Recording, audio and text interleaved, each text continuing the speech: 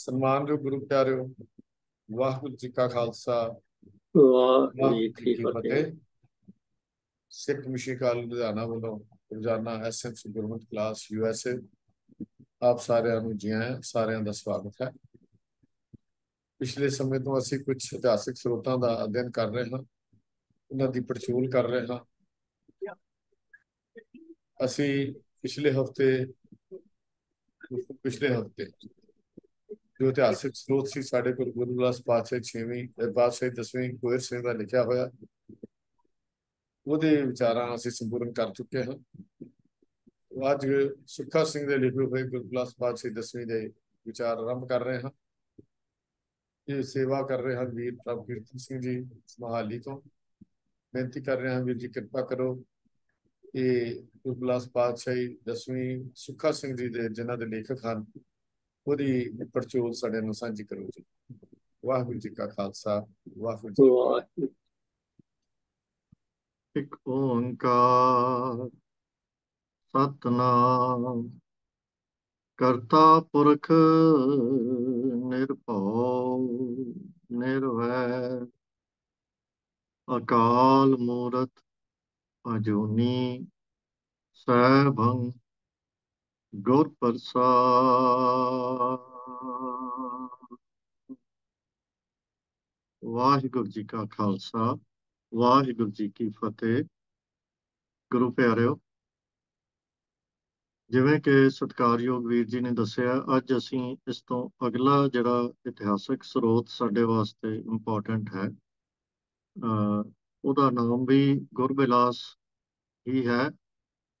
In fact ਜਿਵੇਂ ਆਪਾਂ ਇਹ ਤੀਸਰਾ ਉਹ ਸਰੋਤ ਡਿਸਕਸ ਕਰ ਰਹੇ ਹਾਂ, ਜਿਹਦਾ ਨਾਮ ਗੁਰਬਿਲਾਸ ਹੈ। ਤੋ ਇਹਦੇ ਨਾਲ ਪਾਤਸ਼ਾਹੀ 10ਵੀਂ ਡਿਸਟਿੰਗੁਇਸ਼ ਕਰਨ ਲਈ ਲਗਾ ਦਿੱਤਾ ਜਾਂਦਾ ਹੈ, ਕਿਉਂਕਿ ਇੱਕ ਗੁਰਬਿਲਾਸ ਪਾਤਸ਼ਾਹੀ 6ਵੀਂ ਦਾ ਵੀ ਹੈ, ਜਿਹਦੇ ਬਾਰੇ ਆਪਾਂ ਗੱਲਬਾਤ ਕਰ ਚੁੱਕੇ ਹਾਂ। ਤੇ ਦੋ ਗੁਰਬਿਲਾਸ ਜਿਹੜੇ ਹਨ, ਉਹ 10ਵੀਂ ਪਾਤਸ਼ਾਹੀ ਦੇ ਬਾਰੇ ਲਿਖੇ ਗਏ ਹਨ। ਪਹਿਲੇ ਦੇ ਵਿਚਾਰ, ਜਿੰਦੇ ਲੇਖਕ ਕੋਇਰ ਸਿੰਘ ਸਨ, ਉਹ ਅਸੀਂ ਪੂਰੀ ਕਰ ਚੁੱਕੇ ਹਾਂ। ਤੋ ਅੱਜ ਜਿਹੜਾ ਦੂਸਰਾ ਗੁਰਬਿਲਾਸ 10ਵੀਂ ਪਾਤਸ਼ਾਹੀ ਬਾਰੇ ਲਿਖਿਆ ਗਿਆ ਹੈ, ਜਿਹਦੇ ਰਚਨਾਕਾਰ ਉਸ ਗ੍ਰੰਥ ਦੇ ਮੁਤਾਬਕ ਸੁੱਖਾ ਸਿੰਘ ਹਨ, ਅੱਜ ਉਹਨਾਂ ਦੀ ਵਿਚਾਰ ਅਸੀਂ ਸ਼ੁਰੂ ਕਰ ਰਹੇ ਹਾਂ। ਤੋ ਚੂੰਕਿ ਨਾਮ ਇੱਕੋ ਹੀ ਹੈ ਤੇ ਸਿਰਫ ਲੇਖਕ ਦਾ ਹੀ ਫ਼ਰਕ ਹੈ, ਤੋ ਹਰ ਵਾਰੀ ਜਿੱਥੇ ਲੋੜ ਪਏਗੀ ਉੱਥੇ ਪੂਰੀ ਗੁਰਬਿਲਾਸ ਪਾਤਸ਼ਾਹੀ 10ਵੀਂ ਵਾਲਾ ਕਹਿਣ ਦੀ ਥਾਂ ਤੇ ਕੇਵਲ ਸੁੱਖਾ ਸਿੰਘ ਤੇ ਕੋਇਰ ਸਿੰਘ ਨਾਲ ਵੀ ਅਸੀਂ ਕੰਮ ਚਲਾਵਾਂਗੇ। ਤੋ ਆਪ ਸਮਝ ਲੈਣਾ ਕਿ ਕਿਸ ਪੁਸਤਕ ਦੀ ਗੱਲ ਚੱਲ ਰਹੀ ਹੈ ਤੋ ਇਹ ਤਿੰਨੇ ਰਚਨਾਵਾਂ ਜਿਹੜੀਆਂ ਹਨ ਗੁਰਬਿਲਾਸ ਪਾਤਸ਼ਾਹੀ 6ਵੀਂ ਤੇ ਉਸ ਤੋਂ ਬਾਅਦ ਕੋਇਰ ਸਿੰਘ ਜੀ ਦਾ ਗੁਰਬਿਲਾਸ ਤੇ ਸੁੱਖਾ ਸਿੰਘ ਜੀ ਦਾ ਗੁਰਬਿਲਾਸ ਇਹਦੀ ਅਸੀਂ ਵਿਚਾਰ ਇੱਕ ਸੀਰੀਜ਼ ਦੇ ਵਿੱਚ ਅਸੀਂ ਕਰ ਰਹੇ ਹਾਂ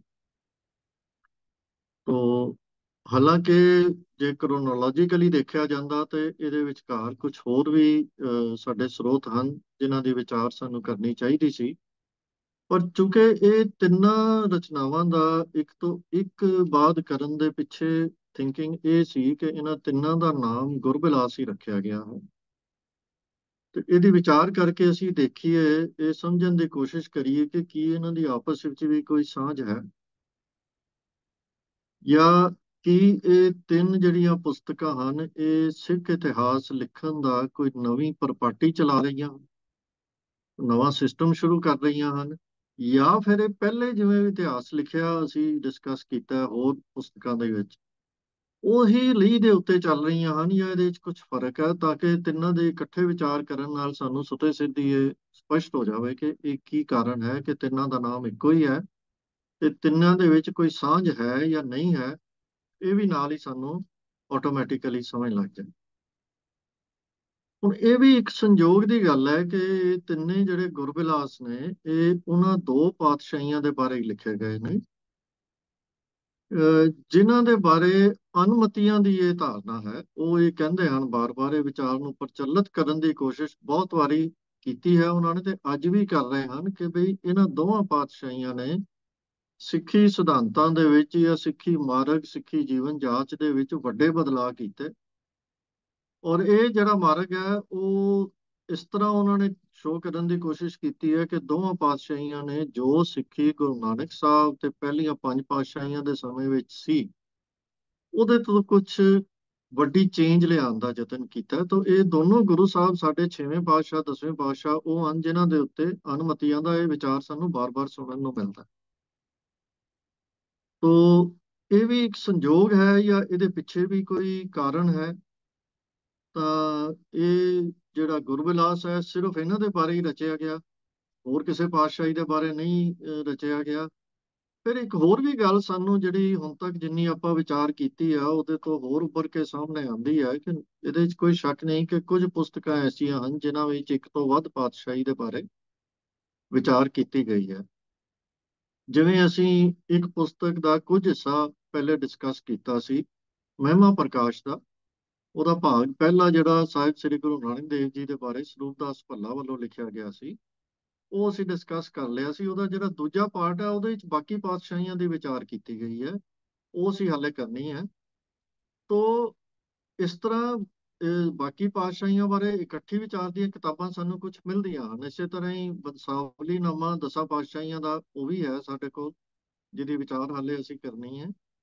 ਪਰ ਇੱਕ ਬੜੀ ਅਹ, ਕੇ ਸਾਡੇ ਸਾਹਮਣੇ ਗੱਲ ਆਉਂਦੀ ਹੈ ਕਿ ਕੋਈ ਵੀ ਐਸੀ ਪੁਸਤਕ ਨਹੀਂ ਲਿਖੀ ਗਈ ਕੋਈ ਵੀ ਐਸਾ ਇਤਿਹਾਸਕ ਰਚਨਾ ਨਹੀਂ ਕੀਤੀ ਗਈ ਜਿਹੜੀ ਐਕਸਕਲੂਸਿਵਲੀ ਦੂਜੇ ਤੀਜੇ ਚੌਥੇ ਪੰਜਵੇਂ ਤੇ ਫਿਰ ਉਸ ਤੋਂ ਬਾਅਦ ਸੱਤਵੇਂ ਅੱਠਵੇਂ ਨੌਵੇਂ ਪਾਤਸ਼ਾਹ ਦੇ ਬਾਰੇ ਐਕਸਕਲੂਸਿਵ ਜਿਹੜੀਆਂ ਕਿਤਾਬਾਂ ਕੇਵਲ ਇੱਕ ਪਾਤਸ਼ਾਹ ਦੀ ਜੀਵਨੀ ਵਾਲੀਆਂ ਕਿਤਾਬਾਂ ਨੇ ਉਹ ਜਾਂ ਪਹਿਲੀ ਪਾਤਸ਼ਾਹੀ ਬਾਰੇ ਜਾਂ ਛੇਵੀਂ ਪਾਤਸ਼ਾਹੀ ਬਾਰੇ ਤੇ ਫਿਰ ਦਸਵੀਂ ਪਾਤਸ਼ਾਹੀ ਬਾਰੇ ਸਾਨੂੰ ਮਿਲਦੀ ਜਦ ਕਿ ਦੇਖਿਆ ਜਾਏ ਤੇ ਚਲੋ ਉਹਨਾਂ ਦਾ ਨਜ਼ਰੀਆ ਆਪਣਾ ਹੋ ਸਕਦਾ ਹੈ ਲਿਖਣ ਵਾਲਿਆਂ ਦਾ, ਪਰ ਦੋ ਬੜੀਆਂ ਵੱਡੀਆਂ ਵਿਲੱਖਣ ਘਟਨਾਵਾਂ ਜਿਹੜੀਆਂ ਸਿੱਖੀ ਮਾਰਗ ਦੀਆਂ ਮਤਲਬ ਸਿਖਰ ਕਹੀਆਂ ਜਾ ਸਕਦੀਆਂ ਹਨ, ਜਿਹੜੀਆਂ ਦੋ ਪਾਤਸ਼ਾਹਾਂ ਨੇ ਕੁਰਬਾਨੀਆਂ ਦਿੱਤੀਆਂ ਸ਼ਹੀਦੀਆਂ ਪ੍ਰਾਪਤ ਕੀਤੀਆਂ ਪੰਜਵੇਂ ਤੇ ਨੌਵੇਂ ਪਾਤਸ਼ਾਹ ਨੇ। ਘੱਟੋ ਘੱਟ ਉਹਨਾਂ ਦੇ ਬਾਰੇ ਤਾਂ ਜ਼ਰੂਰ ਇਹ ਕਿਤਾਬਾਂ ਹੋਣੀਆਂ ਚਾਹੀਦੀਆਂ। ਇਹ ਦਿਮਾਗ ਸਾਡੇ ਇੱਕ ਸ਼ਰਧਾਲੂ ਸਿੱਖ ਹੋਣ ਦੇ ਵਾਸਤੇ ਇਹ ਸਾਡੇ ਦਿਮਾਗ ਵਿੱਚ ਇਹ ਗੱਲ ਜ਼ਰੂਰ ਆਉਂਦੀ ਹੈ, ਕਿਉਂਕਿ ਇਹ ਦੋਵੇਂ ਇਵੈਂਟ ਜਿਹੜੇ ਸਨ, ਉਹ ਵੱਡੇ ਮੀਲ ਪੱਥਰ ਸਨ, ਕਿਸੇ ਵੀ ਧਰਮ ਦੇ ਇਤਿਹਾਸ ਦੇ ਵਿੱਚ ਤੇ ਖਾਸ ਕਰਕੇ ਸਿੱਖੀ ਜੀਵਨ ਜਾਚ ਇਤਿਹਾਸ ਦੇ ਵਿੱਚ ਬੜੇ ਵੱਡੇ ਮੀਲ ਪੱਥਰ ਸਨ, ਜਿਨ੍ਹਾਂ ਨੇ ਬਹੁਤ ਵੱਡੇ ਪ੍ਰਭਾਵ ਸਮਾਜ ਉੱਤੇ ਔਰ ਸਿੱਖ ਧਰਮ ਉੱਤੇ ਛੱਡੇ। ਤੇ ਇਹ ਸਾਰੀਆਂ ਪਾਤਸ਼ਾਹੀਆਂ ਦੂਜੇ ਪਾਤਸ਼ਾਹ ਤੋਂ ਨੌਵੇਂ ਪਾਤਸ਼ਾਹ ਤੱਕ ਜਿਹੜੇ ਮੈਂ ਨਾਮ ਲਏ ਨੇ, ਇਹਨਾਂ ਦੇ ਜੀਵਨ ਦੇ ਬਾਰੇ ਸਾਨੂੰ ਵੱਖੋ-ਵੱਖ ਪੁਸਤਕਾਂ ਦੇ ਵਿੱਚੋਂ ਥੋੜਾ ਥੋੜਾ ਮਟੀਰੀਅਲ ਸਾਨੂੰ ਕਿਤੇ ਮਿਲਦਾ ਹੈ ਤੇ ਉਹ ਸਾਰਾ ਸਾਨੂੰ ਇਕੱਠਾ ਕਰਕੇ ਉਹਨਾਂ ਦੇ ਜੀਵਨ ਬਿਰਤਾਂਤ ਨੂੰ ਸਮਝਣਾ ਪੈਂਦਾ ਹੈ। ਹੁਣ ਦੇਖਿਆ ਜਾਏ ਤੇ ਪੰਜਵੇਂ ਪਾਤਸ਼ਾਹ ਦੇ ਸਮੇਂ ਦੇ ਵਿੱਚ ਬਹੁਤ ਹੀ ਮਹਾਨ ਕਾਰਜ ਹੋਏ, ਚੌਥੇ ਪਾਤਸ਼ਾਹ ਦੇ, ਤੀਜੇ ਪਾਤਸ਼ਾਹ ਦੇ ਸਮੇਂ, ਪਰ ਉਹਨਾਂ ਦੇ ਐਕਸਕਲੂਸਿਵ ਜੀਵਨ ਦੇ ਬਾਰੇ ਕੋਈ ਇਹੋ ਜਿਹੀ ਸਾਨੂੰ ਕਿਤਾਬ ਨਹੀਂ ਮਿਲਦੀ। ਇਹ ਸਿਰਫ ਇਹਨਾਂ ਦੋਵਾਂ ਪਾਤਸ਼ਾਹੀਆਂ ਦੇ ਬਾਰੇ ਗੁਰੂ ਨਾਨਕ ਸਾਹਿਬ ਤੋਂ ਬਾਅਦ ਹੀ ਮਿਲਦੀਆਂ ਨੇ। ਇਹ ਵੀ ਸਾਨੂੰ ਥੋੜਾ ਜਿਹਾ ਵਿਚਾਰ ਕਰਨ ਲਈ ਮਜਬੂਰ ਕਰਦੀ ਹੈ। ਤੋ ਇਹ ਵੀ ਸਾਨੂੰ ਦਿਮਾਗ ਦੇ ਵਿੱਚ ਰੱਖਣੀ ਚਾਹੀਦੀ ਹੈ ਕਿ ਇਹ ਉਹਨਾਂ ਪਾਤਸ਼ਾਹੀਆਂ ਦੇ ਬਾਰੇ ਹਨ, ਜਿਨ੍ਹਾਂ ਦੇ ਵੱਲ ਅਨਮਤੀਆਂ ਨੇ ਕਈ ਕਿਸਮ ਦੀਆਂ ਗੱਲਾਂ ਕਹੀਆਂ ਹਨ ਤੇ ਉਹਨਾਂ ਦੇ ਵਿਸ਼ੇਸ਼ ਧਿਆਨ ਸੀ। ਤਾਂ ਹੁਣ ਇਸ ਪੁਸਤਕ ਵੱਲ ਆਈਏ, ਸੁੱਖਾ ਸਿੰਘ ਕ੍ਰਿਤ ਜਿਹੜਾ ਗੁਰਬਿਲਾਸ ਹੈ, ਜਿਹਨੂੰ ਗੁਰਬਿਲਾਸ ਪਾਤਸ਼ਾਹੀ ਦਸਵੀਂ ਅਸੀਂ ਕਹਿੰਦੇ ਹਾਂ। ਇਹ ਜਦੋਂ ਪੁਸਤਕ ਦੇ ਬਾਰੇ ਜਾਣਨ ਦੀ ਕੋਸ਼ਿਸ਼ ਕੀਤੀ ਤਾਂ ਇਹਦੇ ਦੋ ਸਾਨੂੰ ਆਥੈਂਟਿਕ ਐਡੀਸ਼ਨ ਇਸ ਟਾਈਮ ਬਾਜ਼ਾਰ ਦੇ ਵਿੱਚ ਮਿਲ ਸਕਦੇ ਹਨ। ਇੱਕ ਤਾਂ ਹੈ ਭਾਸ਼ਾ ਵਿਭਾਗ ਵੱਲੋਂ ਛਾਪਿਆ ਗਿਆ, ਜਿਹਦੇ ਸੰਪਾਦਕ ਡਾਕਟਰ ਗੁਰਸ਼ਰਨ ਕੌਰ ਜੱਗੀ ਹਨ। ਤੇ ਦੂਜਾ ਪੰ- ਗੁਰੂ ਨਾਨਕ ਦੇਵ ਯੂਨੀਵਰਸਿਟੀ ਵੱਲੋਂ ਛਾਪਿਆ ਗਿਆ ਡਾਕਟਰ ਮਨਵਿੰਦਰ ਸਿੰਘ। ਉਹ ਇਹਦੇ ਸੰਪਾਦਕ ਹਨ। ਤੋ ਜਦੋਂ ਇਹਦਾ ਮੁਖਬੰਧ ਲਿਖਦੇ ਹਨ, ਡਾਕਟਰ ਗੁਰਸ਼ਰਨ ਕੌਰ ਜੱਗੀ, ਉਹ ਇੱਕ ਬੜੀ ਇੰਪੋਰਟੈਂਟ ਗੱਲ ਉਹਦੇ 'ਚ ਲਿਖਦੇ ਹਨ। ਕਹਿੰਦੇ ਹਨ ਕਿ ਮੈਂ ਵਰਬੈਟਿਮ ਉਹਨਾਂ ਦੀ ਗੱਲ ਪੜ੍ਹ ਰਿਹਾ ਹਾਂ ਕਿ ਆਧੁਨਿਕ ਯੁੱਗ ਦੇ ਵਿੱਚ ਸੁਧਾਰਵਾਦੀ ਸਿੱਖ ਧਰਮ ਅੰਦੋਲਨਾਂ ਤੋਂ ਪਹਿਲਾਂ ਇਸ ਰਚਨਾ ਦੀ ਬਹੁਤ ਮਾਨਤਾ ਸੀ ਅਤੇ ਅਕਸਰ ਗੁਰ, ਗੁਰਧਾਮਾਂ ਵਿੱਚ ਇਸ ਰਚਨਾ ਦੀ ਬਹੁਤ ਮਾਨਤਾ ਸੀ ਤੇ ਅਕਸਰ ਗੁਰਧਾਮਾਂ ਤੋਂ ਇਸ ਦੀ ਕਥਾ ਵਾਰਤਾ ਵੀ ਕੀਤੀ ਜਾਂਦੀ ਸੀ, ਪਰ ਜਿਉਂ-ਜਿਉਂ ਸਿੱਖ ਧਰਮ ਵਿੱਚ ਪੌਰਾਣਿਕਤਾ, ਤਿਆਗਣ ਦੀ ਰੁਚੀ ਦਾ ਵਿਕਾਸ ਹੋਇਆ, ਤਿਉਂ-ਤਿਉਂ ਇਸ ਅਤੇ ਇਸ ਪ੍ਰਕਾਰ ਦੀਆਂ ਹੋਰ ਰਚਨਾਵਾਂ ਪ੍ਰਤੀ ਆਦਰ ਵੀ, ਆਦਰ ਦੀ ਜਿਹੜੀ ਭਾਵਨਾ ਸੀ ਉਹ ਘਟਣ ਲੱਗੀ। ਹੁਣ ਗੁਰਧਾਮਾਂ ਤੇ ਇਹਦੀ ਕਥਾ ਵਾਰਤਾ ਜਾਂ ਪਠਨ ਪਾਠਨ ਲਗਭਗ ਖਤਮ ਹੋ ਗਿਆ ਹੈ ਤੇ ਹੁਣ ਇਸ ਦਾ ਮਹੱਤਵ ਕੇਵਲ ਇਤਿਹਾਸਕ ਤੇ ਅਕਾਦਮਿਕ ਰਹਿ ਗਿਆ ਹੁਣ ਉਹਨਾਂ ਨੇ ਜਿਹੜੀ ਗੱਲ ਕਹੀ ਹੈ ਉਸ ਤੋਂ ਸਾਨੂੰ ਪਤਾ ਲੱਗ ਜਾਂਦਾ ਹੈ ਕਿ ਇਹ ਜਿਹੜੀ ਰਚਨਾ ਹੈ, ਇਹ ਆਪਣੇ ਆਪ ਦੇ ਵਿੱਚ ਕਿੰਨੀ ਮਹੱਤਵਪੂਰਨ ਰਹੀ ਹੈ। ਜਿਵੇਂ ਅੱਗੇ ਅਸੀਂ ਜ਼ਿਕਰ ਕੀਤਾ ਸੀ ਕਿ ਕੋਈ ਵਕਤ ਐਸਾ ਸੀ, ਇਹ ਸੁਧਾਰਵਾਦੀ ਸਾਡੀਆਂ ਮੂਵਮੈਂਟਸ ਤੋਂ ਪਹਿਲੇ, ਜਦੋਂ ਛੇਵੇਂ ਪਾਤਸ਼ਾਹ ਦੇ ਗੁਰਬਿਲਾਸ ਦੀ ਕਥਾ ਵੀ ਗੁਰਦੁਆਰਿਆਂ ਦੇ ਵਿੱਚ ਹੁੰਦੀ ਰਹੀ ਹੈ, ਅਸੀਂ ਕਹਿ ਲਈਏ ਕਿ 19ਵੀਂ ਸਦੀ ਦੇ ਅਖੀਰ ਤੱਕ, ਤੇ ਉਸੇ ਹੀ ਕੈਟਾਗਰੀ ਦੇ ਵਿੱਚ ਸਾਨੂੰ ਇਹ ਰੱਖਣਾ ਪਏਗਾ। ਇਹ ਵੀ ਗੁਰਬਿਲਾਸ ਪਾਤਸ਼ਾਹੀ ਛੇਵੀਂ ਵਾਂਗ ਹੀ ਇੱਕ ਖਾਸ ਸਤਿਕਾਰ ਪ੍ਰਾਪਤ ਕਰ ਚੁੱਕੀ ਰਚਨਾ ਹੈ, ਜਿਸ ਨੂੰ ਉਹ ਵਿਸ਼ੇਸ਼ ਦਰਜਾ ਕਿਸੇ ਸਮੇਂ ਹਾਸਲ ਸੀ, ਜਿਹੜਾ ਅੱਜ ਸੂਰਜ ਪ੍ਰਕਾਸ਼ ਨੂੰ ਹੈ, ਕਿਉਂਕਿ ਉਹਦੀ ਵੀ ਕਥਾ ਅੱਜਕੱਲ ਗੁਰਦੁਆਰਿਆਂ ਦੇ ਵਿੱਚ ਆਮ ਹੁੰਦੀ ਹੁਣ ਬਾਕੀ ਜਿਹੜੀਆਂ ਰਚਨਾਵਾਂ ਸੂਰਜ ਪ੍ਰਕਾਸ਼ ਤੋਂ ਇਲਾਵਾ ਜਿਹੜੀਆਂ ਰਚਨਾਵਾਂ ਸਨ, ਉਹਨਾਂ ਚੋਂ ਤਾਂ ਕਿਸੇ ਦੀ ਕਥਾ ਅੱਜ ਹੁੰਦੀ ਨਹੀਂ ਹੈ। ਬਾਕੀ ਤਾਂ ਉਹ ਇਹ ਸਤਿਕਾਰਤ ਜਿਹੜਾ ਦਰਜਾ ਮਿਲਿਆ ਸੀ, ਉਹਦੇ ਤੋਂ ਹੇਠਾਂ ਉਤਾਰੀਆਂ ਜਾ ਚੁੱਕੀਆਂ ਹਨ। ਪਰ ਸੂਰਜ ਪ੍ਰਕਾਸ਼ ਅੱਜ ਵੀ ਉਸੇ ਦਰਜੇ ਤੇ ਕਾਇਮ ਹੈ ਤੇ ਇਹਦਾ ਜੇ ਅਸੀਂ ਥੋੜਾ ਜਿਹਾ ਵਿਚਾਰ ਕਰੀਏ ਤੇ ਇਹ ਗੱਲ ਸਮਝ ਆਉਂਦੀ ਹੈ ਕਿ ਜਦੋਂ ਬਾਕੀ ਰਚਨਾਵਾਂ ਦੀ ਕਥਾ ਬੰਦ ਹੋਈ, ਉਸ ਵੇਲੇ ਤੱਕ ਸੂਰਜ ਪ੍ਰਕਾਸ਼ ਦੀ ਕਥਾ ਹਾਲੇ ਸ਼ੁਰੂ ਹੀ ਨਹੀਂ ਸੀ ਹੋਈ ਤਾਂ ਉਹਦੇ ਬੰਦ ਕਰਨ ਬਾਰੇ ਤਾਂ ਕੋਈ ਗੱਲਾਂ ਹੋਈਆਂ ਹੋਣ ਜਾਂ ਕੋਸ਼ਿਸ਼ ਨਹੀਂ ਹੋਈ ਹੋ ਸਕਦੀ ਸੀ। ਸਿੰਘ ਸਭਾ ਲਹਿਰ ਦੇ ਦੌਰਾਨ ਜਿਹੜੀ ਜਾਗਰਤੀ ਪੈਦਾ ਹੋਈ, ਉਹਨੇ ਇਹਨਾਂ ਸਾਰੇ ਗ੍ਰੰਥਾਂ ਦੀ, ਰਚਨਾਵਾਂ ਦੀ, ਪੜਚੋਲ ਤੇ ਮੁਲਾਂਕਣ ਕਰਨ ਦਾ ਜਿਹੜਾ ਕੰਮ ਸੀ, ਉਹ ਵੀ ਨਾਲ ਨਾਲ ਸ਼ੁਰੂ ਹੋ ਗਿਆ। ਤੇ ਉਹਨਾਂ ਨੂੰ ਇੱਕ ਕਿਸਮ ਨਾਲ ਕਹਿ ਲਈਏ ਕਿ ਆਦਰ ਸਤਕਾਰ ਉਹਨਾਂ ਦਾ ਘਟਣ ਦੇ ਨਾਲ ਉਹਨਾਂ ਨੂੰ ਰੱਦ ਕਰ ਦਿੱਤਾ ਗਿਆ ਤੇ ਉਹਨਾਂ ਦੀ ਕਥਾ ਬੰਦ ਹੋ ਗਈ। ਪਰ ਸੂਰਜ ਪ੍ਰਕਾਸ਼ ਦੀ ਕਥਾ ਸਾਡੇ ਗੁਰਦੁਆਰਿਆਂ ਵਿੱਚ ਉਦੋਂ ਸ਼ੁਰੂ ਹੋਈ ਜਦੋਂ ਸਿੰਘ ਸਭਾ ਲਹਿਰ ਤਕਰੀਬਨ ਆਪਣੇ ਉਤਰਾਅ ਦੇ ਵਿੱਚ ਸੀ। ਉਹ ਚੜ੍ਹਦੀ ਕਲਾ ਦੇ ਵਿੱਚ ਨਹੀਂ ਸੀ, ਉਹਦੇ ਮੋਢੀ ਹੁਣ ਉਦੋਂ ਤੱਕ ਰਹੇ ਨਹੀਂ ਸਨ। ਤੇ ਜਿਹੜੀ ਇਹ ਲਹਿਰ ਸੀ, ਇਹ ਬਦਲ ਰਹੀ ਸੀ ਗੁਰਦੁਆਰਾ ਸੁਧਾਰ ਲਹਿਰ ਦੇ ਵਿੱਚ, ਜਿਹਦਾ ਫੋਕਸ ਜਿਹੜਾ ਸੀ, ਉਹ ਇੱਕ ਡਿਫਰੈਂਟ ਸੀ ਸੁਧਾਰਵਾਦੀ ਤੋਂ ਇਲਾਵਾ, ਜਿਹੜਾ ਗੁਰਦੁਆਰਿਆਂ ਦੇ ਸੁਧਾਰ ਵੱਲ ਬਹੁਤ ਜ਼ਿਆਦਾ ਹੋ ਗਿਆ ਤੇ ਉਸ ਦੇ ਵਿੱਚ ਸ਼ਾਇਦ ਇੱਧਰ ਸਾਡੇ ਜਿਹੜੇ ਇੰਟੈਲੈਕਚੁਅਲ ਸਨ, ਉਹਨਾਂ ਨੇ ਇੰਨਾ ਧਿਆਨ ਨਹੀਂ ਦਿੱਤਾ। ਤੇ ਫਿਰ ਇੱਕ ਹੋਰ ਵੀ ਇਹਦੇ ਵਿੱਚ ਇੰਪੋਰਟੈਂਟ ਫੈਕਟਰ ਇਹ ਹੋਇਆ ਕਿ ਸੂਰਜ ਪ੍ਰਕਾਸ਼ ਦੀ ਕਥਾ ਨੂੰ ਸ਼ੁਰੂ ਕਰਾਉਣ ਵਿੱਚ ਵੀ ਸਿੰਘ ਸਭਾ ਲਹਿਰ ਦੀ ਇੱਕ ਜਿਹੜੀ ਲੀਡਿੰਗ ਲਾਈਟ ਸੀ ਬੜੀ ਸਤਿਕਾਰਕ ਸਤਿਕਾਰਤ ਹਸਤੀ ਸੀ ਭਾਈ ਵੀਰ ਸਿੰਘ। ਉਹਨਾਂ ਦੇ ਉਦਮ ਨਾਲ ਇਹ ਕਥਾ ਸ਼ੁਰੂ ਹੋਈ ਤੇ ਉਹਨਾਂ ਦੇ ਸਤਿਕਾਰ ਦੇ ਵਿੱਚ ਹੀ ਸ਼ਾਇਦ ਇਹ ਸਰਬ ਪ੍ਰਵਾਨਿਤ ਹੋ ਕੇ ਤੇ ਹੁਣ ਤਕਰੀਬਨ ਮੈਜੋਰਿਟੀ ਗੁਰਦੁਆਰਿਆਂ ਦੇ ਵਿੱਚ ਅਹ, ਲਗਭਗ ਸਾਰੇ ਗੁਰਦੁਆਰਿਆਂ ਦੇ ਵਿੱਚ ਹੁੰਦੀ ਹੈ ਜਿੱਥੇ ਜਿੱਥੇ ਵੀ ਇਤਿਹਾਸ ਦੀ ਕਥਾ ਹੁੰਦੀ ਹੈ। ਬਹੁਤ ਘੱਟ ਗੁਰਦੁਆਰੇ ਹਨ ਜਿੱਥੇ ਸੂਰਜ ਪ੍ਰਕਾਸ਼ ਦੀ ਕਥਾ ਨਹੀਂ। ਇਹ ਜਿਹੜੀ ਰਚਨਾ ਹੈ ਇਹ ਉਸੇ ਕੈਟਾਗਰੀ ਵਿੱਚੋਂ ਹੀ ਆ ਜਿਹਦੀ ਕਥਾ ਹੁੰਦੀ ਰਹੀ ਹੈ, ਪਰ ਇਹਦੇ ਬਾਰੇ ਮੰਨਿਆ ਜਾਂਦਾ ਹੈ ਕਿ ਇਹ ਕੋਇਰ ਸਿੰਘ ਜੀ ਦੀ ਜਿਹੜੀ ਗੁਰਬਿਲਾਸ ਸੀ, ਉਸ ਤੋਂ ਬਾਅਦ ਲਿਖੀ ਗਈ ਹੈ। ਇਹਦੇ ਵਿੱਚ ਜੋ ਇਨਫੋਰਮੇਸ਼ਨ ਮਿਲਦੀ ਹੈ ਸਾਨੂੰ, ਉਹ ਵੀ ਇਸੇ ਤਰ੍ਹਾਂ ਦੀ ਹੀ ਹੈ। ਤੇ ਇਹ ਮੰਨਿਆ ਜਾਂਦਾ ਹੈ ਵਿਦਵਾਨਾਂ ਵੱਲੋਂ ਕਿ ਇਹਦੀਆਂ ਜਿਹੜੀਆਂ ਆਧਾਰ ਪੁਸਤਕਾਂ ਸਨ, ਜਿਨ੍ਹਾਂ ਨੂੰ ਆਧਾਰ ਬਣਾ ਕੇ ਸੁੱਖਾ ਸਿੰਘ ਨੇ ਇਹ ਕਿਤਾਬ ਲਿਖੀ, ਉਹਦੇ ਵਿੱਚ ਕੋਇਰ ਸਿੰਘ ਜੀ ਦਾ ਗੁਰਬਿਲਾਸ ਬੰਸਾਵਲੀ ਨਾਮਾ ਦਸਾਂ ਪਾਤਸ਼ਾਹੀਆਂ ਦਾ ਭਾਈ ਕੇਸਰ ਸਿੰਘ ਛਿੱਬਰ ਦਾ। ਫਿਰ ਇੱਕ ਜੰਗਨਾਮਾ ਗੁਰੂ ਗੋਬਿੰਦ ਸਿੰਘ ਸ੍ਰੀ ਗੁਰਸੋਭਾ ਜਿਹੜੀ ਸੈਨਾਪਤੀ ਜੀ ਦੀ ਲਿਖੀ ਹੋਈ ਹੈ, ਸੈਨਾ ਸਿੰਘ ਦੀ ਲਿਖੀ ਮੰਨੀ ਜਾਂਦੀ ਹੈ। ਤੋ ਇਹ ਸਾਰੀਆਂ ਪੁਸਤਕਾਂ ਨੂੰ ਵਿੱਚੋਂ ਕੋਟ ਕੀਤਾ ਗਿਆ ਸਾਨੂੰ ਮਿਲਦਾ ਹੈ। ਕਈ ਥਾਵਾਂ ਤੇ ਇਨ ਬਿਨ ਇਹਨਾਂ ਦੇ ਲਫ਼ਜ਼ ਜਿਹੜੇ ਹਨ, ਇਹਨਾਂ ਦੀ ਕਵਿਤਾ ਦੇ ਸ਼ਬਦ ਸਾਨੂੰ ਇਹਦੇ ਵਿੱਚ ਮਿਲ ਜਾਂਦੇ ਹਨ, ਜਿਸ ਤੋਂ ਇਹ ਸਪਸ਼ਟ ਹੋ ਜਾਂਦਾ ਕਿ ਇਹ ਸਾਰੀਆਂ ਪੁਸਤਕਾਂ ਇਸ ਦੇ ਰਚਨਹਾਰ ਨੂੰ ਅਵੇਲੇਬਲ ਸਨ ਤੇ ਇਹਨੂੰ ਉਹਨਾਂ ਨੇ ਵਰਤਿਆ ਹੈ। ਤੋ ਪਰ ਇਹਦਾ ਮੁੱਖ ਆਧਾਰ ਜਿਹੜਾ ਮੰਨਿਆ ਜਾਂਦਾ ਹੈ ਕੋਰ ਸਿੰਘ ਜੀ ਦਾ ਗੁਰਬਿਲਾਸ ਹੀ ਮੰਨਿਆ ਜਾਂਦਾ ਤੋ ਹੁਣ ਅਗਲਾ ਸਵਾਲ ਸਾਡੇ ਲਈ ਪੈਦਾ ਹੁੰਦਾ ਹੈ ਕਿ ਸੁੱਖਾ ਸਿੰਘ ਜੀ ਕੌਣ ਹੈ ਲੇਖਕ ਨੇ ਆਪਣਾ ਨਾਮ ਸੁੱਖਾ ਸਿੰਘ ਦੱਸਿਆ ਪਰ ਲੇਖਕ ਦੇ ਬਾਰੇ, ਇਹ ਕਵੀ ਸੁੱਖਾ ਸਿੰਘ ਦੇ ਬਾਰੇ ਸਾਨੂੰ ਕਿਸੇ ਵੀ ਹੋਰ ਸਰੋਤ ਤੋਂ ਕੋਈ ਸੂਚਨਾ ਨਹੀਂ ਮਿਲਦੀ। ਸਿੱਖ ਇਤਿਹਾਸ ਦੇ ਵਿੱਚ ਤਿੰਨ ਸੁੱਖਾ ਸਿੰਘ ਜਿਹੜੇ ਹੋਏ ਹਨ, ਜਿਨ੍ਹਾਂ ਦਾ ਜ਼ਿਕਰ ਇਤਿਹਾਸ ਦੇ ਵਿੱਚ ਸਾਨੂੰ ਮਿਲਦਾ ਹੈ। ਇੱਕ ਤਾਂ ਅਸੀਂ ਸਾਰੇ ਜਾਣਦੇ ਹਾਂ ਭਾਈ ਸੁੱਖਾ ਸਿੰਘ ਮਹਿਤਾਬ ਸਿੰਘ, ਜਿਨ੍ਹਾਂ ਨੇ ਮਸੇ ਰੰਗੜ ਤੋਂ ਸੋਧਿਆ ਸੀ। ਇੱਕ ਤਾਂ ਉਹ ਸੁੱਖਾ ਸਿੰਘ ਸਨ। ਤੇ ਇੱਕ ਸੁੱਖਾ ਸਿੰਘ ਦਾ ਹੋਰ ਜ਼ਿਕਰ ਮਿਲਦਾ ਹੈ, ਜਿਹੜੇ ਪਟਨੇ ਦੇ ਵਿੱਚ ਗ੍ਰੰਥੀ ਸਨ। ਉਹ ਵਿਦਵਾਨ ਮੰਨੇ ਗਏ ਹਨ। ਔਰ ਉਹਨਾਂ ਦੇ ਨਾਮ ਨਾਲ ਹਾਲਾਂਕਿ ਪੂਰੀ ਤਰ੍ਹਾਂ ਸਪਸ਼ਟ ਸਾਨੂੰ ਨਹੀਂ ਹੁੰਦਾ ਜਿੰਨਾ ਕੁ ਮੈਂ ਕੋਸ਼ਿਸ਼ ਕੀਤੀ ਹੈ, ਨਹੀਂ ਹੋ ਸਕਿਆ, ਪਰ ਉਹਨਾਂ ਦੇ ਨਾਮ ਨਾਲ ਇਹ ਐਸੋਸੀਏਟ ਕੀਤਾ ਜਾਂਦਾ ਹੈ ਕਿ ਉਹਨਾਂ ਨੇ ਕੁਝ ਹੋਰ ਰਚਨਾਵਾਂ ਐਡ ਕਰਕੇ ਦਸਮ ਗ੍ਰੰਥ ਦੀ ਇੱਕ ਬੀੜ ਤਿਆਰ ਕੀਤੀ ਸੀ। ਹੁਣ ਇਹ ਮੈਨੂੰ ਨਹੀਂ ਪਤਾ ਲੱਗ ਸਕਿਆ ਕਿ ਅੱਜ ਕੱਲ ਜੋ ਦਸਮ ਗ੍ਰੰਥ ਦੀ ਬੀੜ ਆ, ਉਹ ਸੁੱਖਾ ਸਿੰਘ ਵੱਲੋਂ ਤਿਆਰ ਕੀਤੀ ਹੋਈ ਹੈ ਜਾਂ ਕਿਸੇ ਹੋਰ ਵੱਲੋਂ ਹੈ, ਇਹਦੇ ਬਾਰੇ ਕੁਝ ਕਨਫਿਊਜ਼ਨ ਹੀ ਹੈ ਕਲੈਰਿਟੀ ਨਹੀਂ ਮਿਲੀ। ਪਰ ਇੱਕ ਉਹਦਾ ਜ਼ਿਕਰ ਸਾਨੂੰ ਇਤਿਹਾਸ ਦੇ ਵਿੱਚ ਮਿਲਦਾ ਹੈ। ਤੇ ਤੀਜੇ ਇਹ ਕਵੀ ਸੁੱਖਾ ਸਿੰਘ ਹਨ, ਜਿਨ੍ਹਾਂ ਨੇ ਇਹ ਗੁਰਬਿਲਾਸ ਲਿਖਿਆ ਤੋ ਡਾਕਟਰ ਗੁਰਸ਼ਰਨ ਕੌਰ ਜੱਗੀ ਨੇ ਤਾਂ ਤਕਰੀਬਨ ਜਿਹੜੇ ਪੁਰਾਣੀਆਂ ਰਵਾਇਤਾਂ ਨੂੰ ਹੀ ਸੁੱਖਾ ਸਿੰਘ ਬਾਰੇ ਮੰਨ ਕੇ ਉਹਨਾਂ ਦੇ ਬਾਰੇ ਲਿਖਿਆ ਹੈ। ਪਰ ਜਿਹੜੀ ਦੂਸਰੀ ਪੁਸਤਕ ਦਾ ਮੈਂ ਜ਼ਿਕਰ ਕੀਤਾ ਹੈ, ਜਿਹੜੀ ਡਾਕਟਰ ਮਨਵਿੰਦਰ ਸਿੰਘ ਨੇ ਲਿਖੀ ਹੈ, ਗੁਰੂ ਨਾਨਕ ਦੇਵ ਯੂਨੀਵਰਸਿਟੀ ਵਾਲਿਆਂ ਨੇ, ਉਹਨਾਂ ਨੇ ਕਾਫੀ ਡਿਟੇਲ ਦੇ ਵਿੱਚ ਆਪਣਾ ਜੋ ਉਹਨਾਂ ਨੇ ਖੋਜ ਕਰਨ ਦੀ ਕੋਸ਼ਿਸ਼ ਕੀਤੀ, ਉਹ ਕਾਫੀ ਯਤਨ ਕੀਤੇ ਉਹਨਾਂ ਨੇ, ਪਰ ਕਿਸੇ ਵੀ ਸਮਕਾਲੀ ਸਰੋਤ ਵਿੱਚੋਂ ਸੁੱਖਾ ਸਿੰਘ ਦੇ ਬਾਰੇ ਕਿਤੇ ਵੀ ਕੁਝ ਪਤਾ ਨਹੀਂ ਲੱਗਿਆ। ਅੱਗੋਂ ਜਾ ਕੇ ਅਸੀਂ ਇਹਨਾਂ ਦਾ ਪੀਰੀਅਡ ਦੇਖਾਂਗੇ ਤੇ ਪਤਾ ਲੱਗੇਗਾ ਕਿ ਇਹ ਉਹ ਸਮਾਂ ਸੀ ਜਦੋਂ ਉਹ ਅਨੰਦਪੁਰ ਸਾਹਿਬ ਦੇ ਵਿੱਚ ਰਹਿਣਾ ਆਪਣਾ ਕਲੇਮ ਕਰਦੇ ਹਨ। ਤੇ ਉਹ ਸਮਾਂ ਸੀ ਜਦੋਂ ਅਨੰਦਪੁਰ ਵਾਲਾ ਪੰਜਾਬ ਦਾ ਹਿੱਸਾ ਮਹਾਰਾਜਾ ਰਣਜੀਤ ਸਿੰਘ ਨਾਲ ਸੰਧੀ ਤੋਂ ਬਾਅਦ ਅੰਗਰੇਜ਼ਾਂ ਦੇ ਅੰਡਰ ਆ ਚੁੱਕਾ ਸੀ। ਤੇ ਉਸ ਸਮੇਂ ਦੇ ਨੇੜੇ ਤੇੜੇ ਦੇ ਉੱਤੇ ਅਨੰਦਪੁਰ ਸਾਹਿਬ ਦੇ ਵੀ ਰਿਕਾਰਡ ਰੱਖੇ ਜਾਣੇ ਅੰਗਰੇਜ਼ੀ ਸਿਸਟਮ ਦੇ ਮੁਤਾਬਕ, ਜਿਵੇਂ register of births and deaths ਤੇ ਹੋਰ ਕੁਝ ਉੱਥੋਂ ਦੇ ਲੋਕਲ ਐਡਮਿਨਿਸਟ੍ਰੇਸ਼ਨ ਦੇ ਕੁਝ ਰਿਕਾਰਡਸ ਸਾਨੂੰ ਪ੍ਰਾਪਤ ਉਹਨਾਂ ਨੂੰ ਮਿਲੇ। ਉੱਥੇ ਉਹਨਾਂ ਨੇ ਰਿਸਰਚ ਦੇ ਵਿੱਚ, ਉਹਨਾਂ ਨੂੰ ਆਰਕਾਈਵਸ ਦੇ ਵਿੱਚੋਂ ਮਿਲੇ। ਉਹਨਾਂ ਨੇ, ਉਹਨਾਂ ਦੇ ਵਿੱਚ ਵੀ ਖੋਜ ਕੀਤੀ ਵੀ ਕਿਤੇ ਸੁੱਖਾ ਸਿੰਘ ਦੇ ਬਾਰੇ ਸਾਨੂੰ ਕੁਝ ਮਿਲ ਜਾਏ।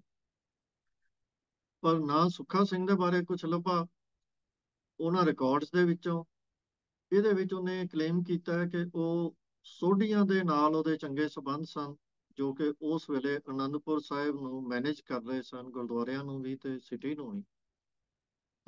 ਉਹਨਾਂ ਦੇ ਖਾਨਦਾਨਾਂ ਨਾਲ ਵੀ ਉਹਨਾਂ ਨੇ ਜਾ ਕੇ ਮੁਲਾਕਾਤਾਂ ਕੀਤੀਆਂ, ਜਿਹੜੇ ਉਹਨਾਂ ਦੀ ਅੱਜ ਕੱਲ ਵੱਡੀ ਸਰਕਾਰ ਮੰਨੇ ਜਾਂਦੇ ਹਨ, ਸੋਢੀ ਭਰਪੂਰ ਸਿੰਘ। ਉਹਨਾਂ ਨਾਲ ਵੀ ਮੁਲਾਕਾਤ ਕੀਤੀ, ਉਹਨਾਂ ਦੇ ਪਰਿਵਾਰ ਦੇ ਰਿਕਾਰਡਸ ਵਗੈਰਾ ਜਾਂ ਰਵਾਇਤਾਂ ਨੂੰ ਖੋਜਣ ਦੀ ਕੋਸ਼ਿਸ਼ ਕੀਤੀ, ਪਰ ਕਿਤੋਂ ਵੀ ਸੁੱਖਾ ਸਿੰਘ ਬਾਰੇ ਕੁਝ ਵੀ ਮਿਲ ਨਹੀਂ ਸਕਿਆ।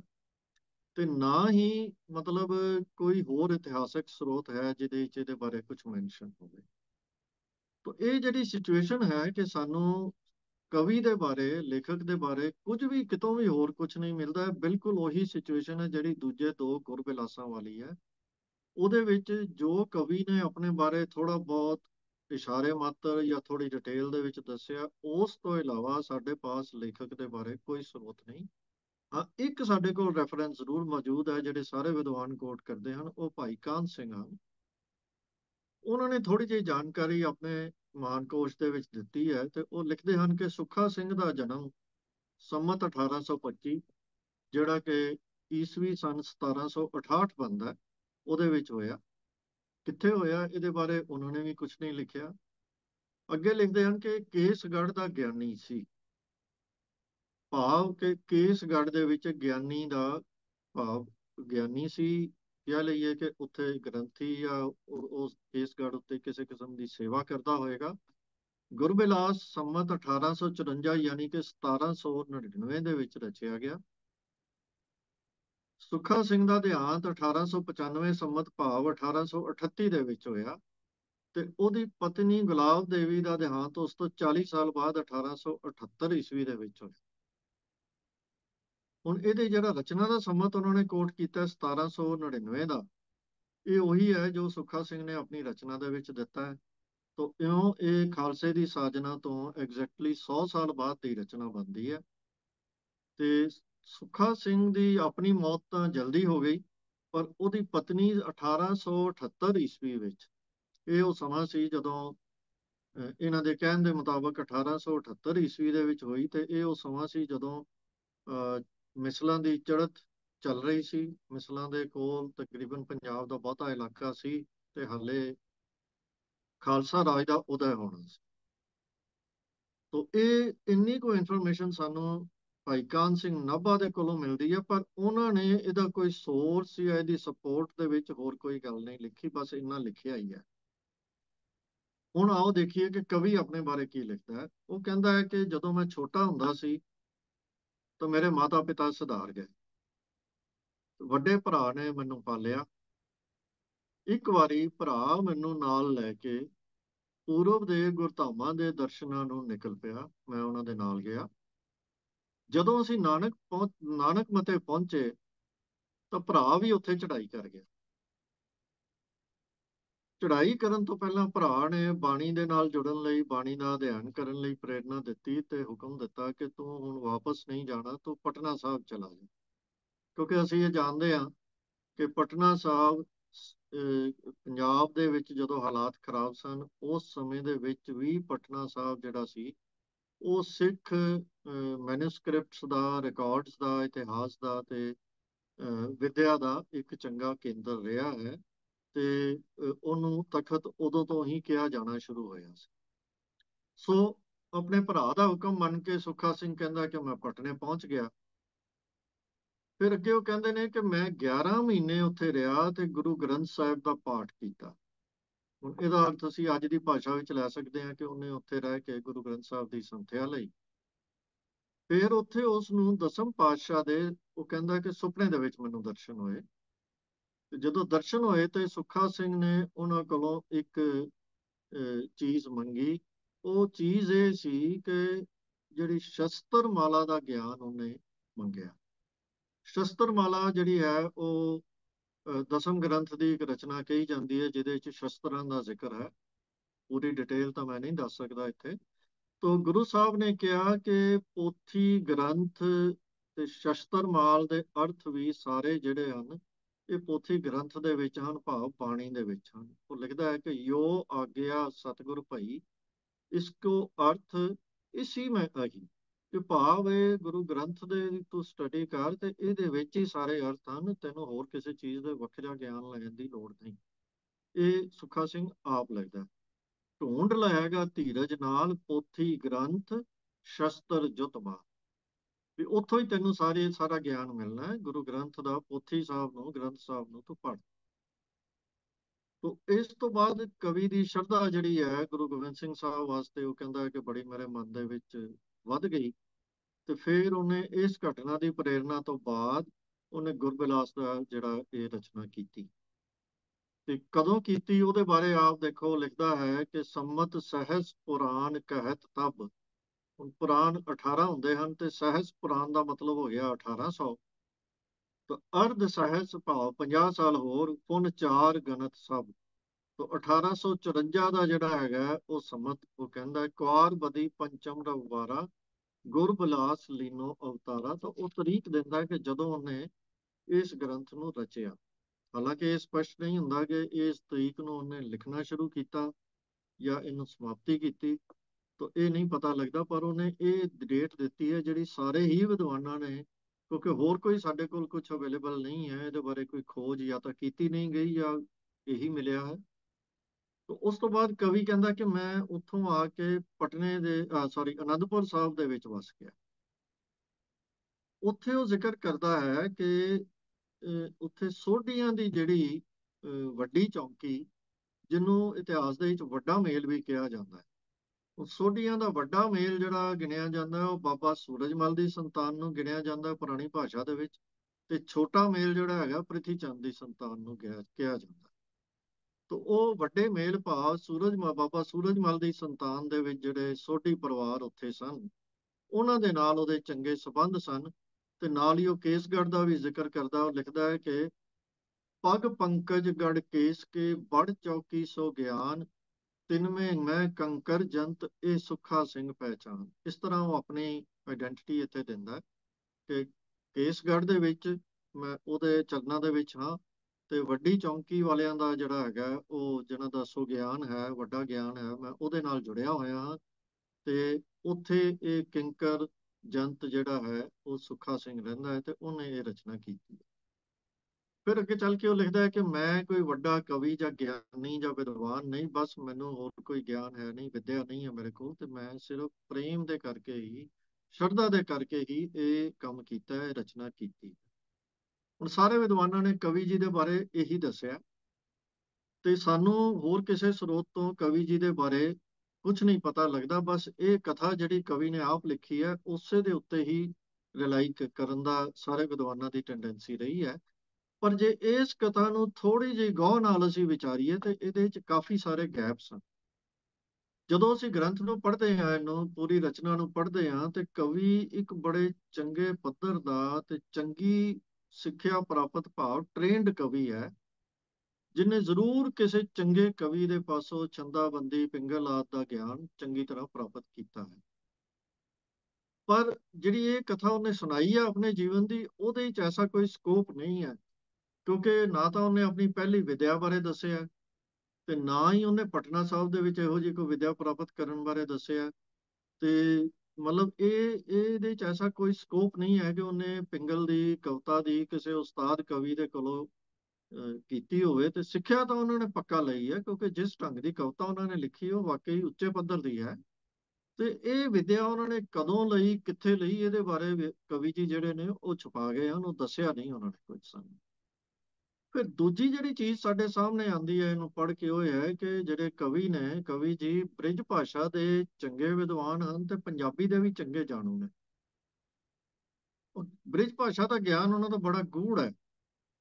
ਔਰ ਇਹ ਗੂੜ ਗਿਆਨ ਜਿਹੜਾ ਹੈਗਾ, ਦੋ ਹੀ ਤਰੀਕਿਆਂ ਨਾਲ ਪ੍ਰਾਪਤ ਕੀਤਾ ਜਾ ਸਕਦਾ, ਜਾਂ ਤੇ ਕਈ ਵਰ੍ਹਿਆਂ ਦੀ ਮਿਹਨਤ ਹੋਵੇ, ਉਸਤਾਦ ਦੇ ਕੋਲ ਸਿੱਖਿਆ ਹੋਵੇ ਨਵੀਂ ਭਾਸ਼ਾ ਹੈ, ਅਗਰ ਉਹ ਪੰਜਾਬ ਤੋਂ ਗਏ ਹਨ, ਜਿਵੇਂ ਕਿ ਉਹ ਲਿਖਦੇ ਹਨ, ਤਾਂ ਫਿਰ ਤਾਂ ਉਹਨਾਂ ਨੂੰ ਕਈ ਸਾਲ ਉਹ ਸਿੱਖਣੀ ਪਈ ਹੋਵੇਗੀ। ਤੇ ਜਾਂ ਫਿਰ ਦੂਜਾ ਰਸਤਾ ਇਹ ਹੈ ਕਿ ਭਾਸ਼ਾ ਦਾ ਗਿਆਨ ਇੰਨਾ ਜ਼ਿਆਦਾ ਹੋਵੇ ਜਿਹਦੇ ਵਿੱਚ ਇੱਕ ਏਡੀ ਵੱਡੀ ਰਚਨਾ ਕਵਿਤਾ ਦੀ ਵੀ ਲਿਖ ਲੈਣ, ਛੰਦਾਬੰਦੀ ਦਾ ਵੀ ਹੋਵੇ ਗ੍ਰੰਥ, ਜਿਹਦੇ ਵਿੱਚ ਬੜੀ ਪ੍ਰੀਸਾਈਜ਼ ਤੁਹਾਨੂੰ ਰਚਨਾ ਕਰਨੀ ਹੁੰਦੀ ਹੈ। ਤਾਂ ਇਹ ਤਾਂ ਫਿਰ ਉਮਰ ਭਰ ਦੀ ਕਾਲਨਾ ਹੋਏਗੀ, ਜੇ ਕਿਸੇ ਨੇ ਪੰਜਾਬ ਤੋਂ ਜਾ ਕੇ ਬ੍ਰਿਜ ਭਾਸ਼ਾ ਨੂੰ ਸਿੱਖਿਆ ਹੋਵੇ ਤੇ ਫਿਰ ਉਹਦੇ ਵਿੱਚ ਰਚਨਾ ਰਚੀ ਹੋਵੇ। ਇਹ ਇੱਕ ਸੌਖਾ ਕੰਮ ਨਹੀਂ ਹੈ। ਤੇ ਦੂਜੀ ਪੋਸਿਬਿਲਿਟੀ ਇਹ ਹੋ ਸਕਦੀ ਹੈ ਕਿ ਕਵੀ ਜੀ ਨੇ ਭਾਵੇਂ ਲਿਖਿਆ ਜਾਂ ਨਹੀਂ ਲਿਖਿਆ ਇਹ ਇਹ ਜਾਪਦਾ ਹੈ ਕਿ ਸ਼ਾਇਦ ਉਹਨਾਂ ਦੀ ਮਾਤ ਭਾਸ਼ਾ ਹੀ ਬ੍ਰਿਜ ਭਾਸ਼ਾ ਹੋਵੇ। ਤੇ ਦੂਜੀ ਗੱਲ ਇਹ ਵੀ ਨਾ ਮਤਲਬ ਅਸੀਂ ਅਹ, ਭੁੱਲੀਏ ਕਿ ਜਿਹੜੀਆਂ ਡੇਟਸ ਸਾਨੂੰ ਭਾਈ ਕਾਨ ਸਿੰਘ ਨੇ ਦਿੱਤੀਆਂ ਨੇ ਤੇ ਉਹ ਰਚਨਾ ਕਰਨ ਵੇਲੇ ਉਹਨਾਂ ਦੀ ਉਮਰ ਸਿਰਫ 29 ਸਾਲ ਦੀ ਬਣਦੀ। ਤੋ ਉਹ ਉਹਨਾਂ ਨੇ ਜਿਹੜੇ ਆਪਣੇ ਹਾਲਾਤ ਦੱਸੇ ਹਨ ਵੀ ਮਾਤਾ ਪਿਤਾ ਦੀ ਮੌਤ ਹੋਣਾ, ਭਰਾ ਦਾ ਪਾਲਣਾ ਤੇ ਫਿਰ ਉਸ ਤੋਂ ਬਾਅਦ ਉਹਨਾਂ ਨੂੰ ਯਾਤਰਾਵਾਂ ਤੇ ਨਿਕਲਣਾ, ਇਹਦੇ ਵਿੱਚ ਕਿਤੇ ਵੀ ਕੋਈ ਇਹ ਦੋਵੇਂ ਗੱਲਾਂ ਜਿਹੜੀਆਂ ਨੇ, ਉਹ ਸਾਬਤ ਨਹੀਂ ਹੁੰਦੀਆਂ। ਤੋ ਸਾਨੂੰ ਇਸ ਦੇ ਉੱਤੇ ਥੋੜਾ ਇੱਕ ਕੁਐਸਚਨ ਮਾਰਕ ਲੱਗ ਜਾਂਦਾ ਹੈ ਕਿ ਕੀ ਇਹ ਕਥਾ ਠੀਕ ਹੈ ਜਾਂ ਨਹੀਂ ਹੈ। ਦੂਜਾ, ਕਵੀ ਜੀ ਨੂੰ ਪੁਰਾਣਾ ਦਾ ਵੀ ਬੜਾ ਡੂੰਘਾ ਗਿਆਨ ਹੈ, ਕਿਉਂਕਿ ਪੁਰਾਣਾ ਦਾ ਲੱਗਦਾ ਕਿ ਉਹਨਾਂ ਨੇ ਬਹੁਤ ਡੀਪ ਅਧਿਐਨ ਕੀਤਾ ਕਿਉਂਕਿ ਬਾਰ-ਬਾਰ ਪੁਰਾਣੇ ਕਹਾਣੀਆਂ ਨੂੰ ਵੀ ਕੋਟ ਕਰਦੇ ਹਨ। ਔਰ ਸਿਰਫ ਇਹੀ ਨਹੀਂ ਕਿ ਉਹਨਾਂ ਨੇ ਪੁਰਾਣਾ ਦੀਆਂ ਕਹਾਣੀਆਂ ਉੱਥੇ ਰਿਪੀਟ ਕੀਤੀਆਂ ਨੇ।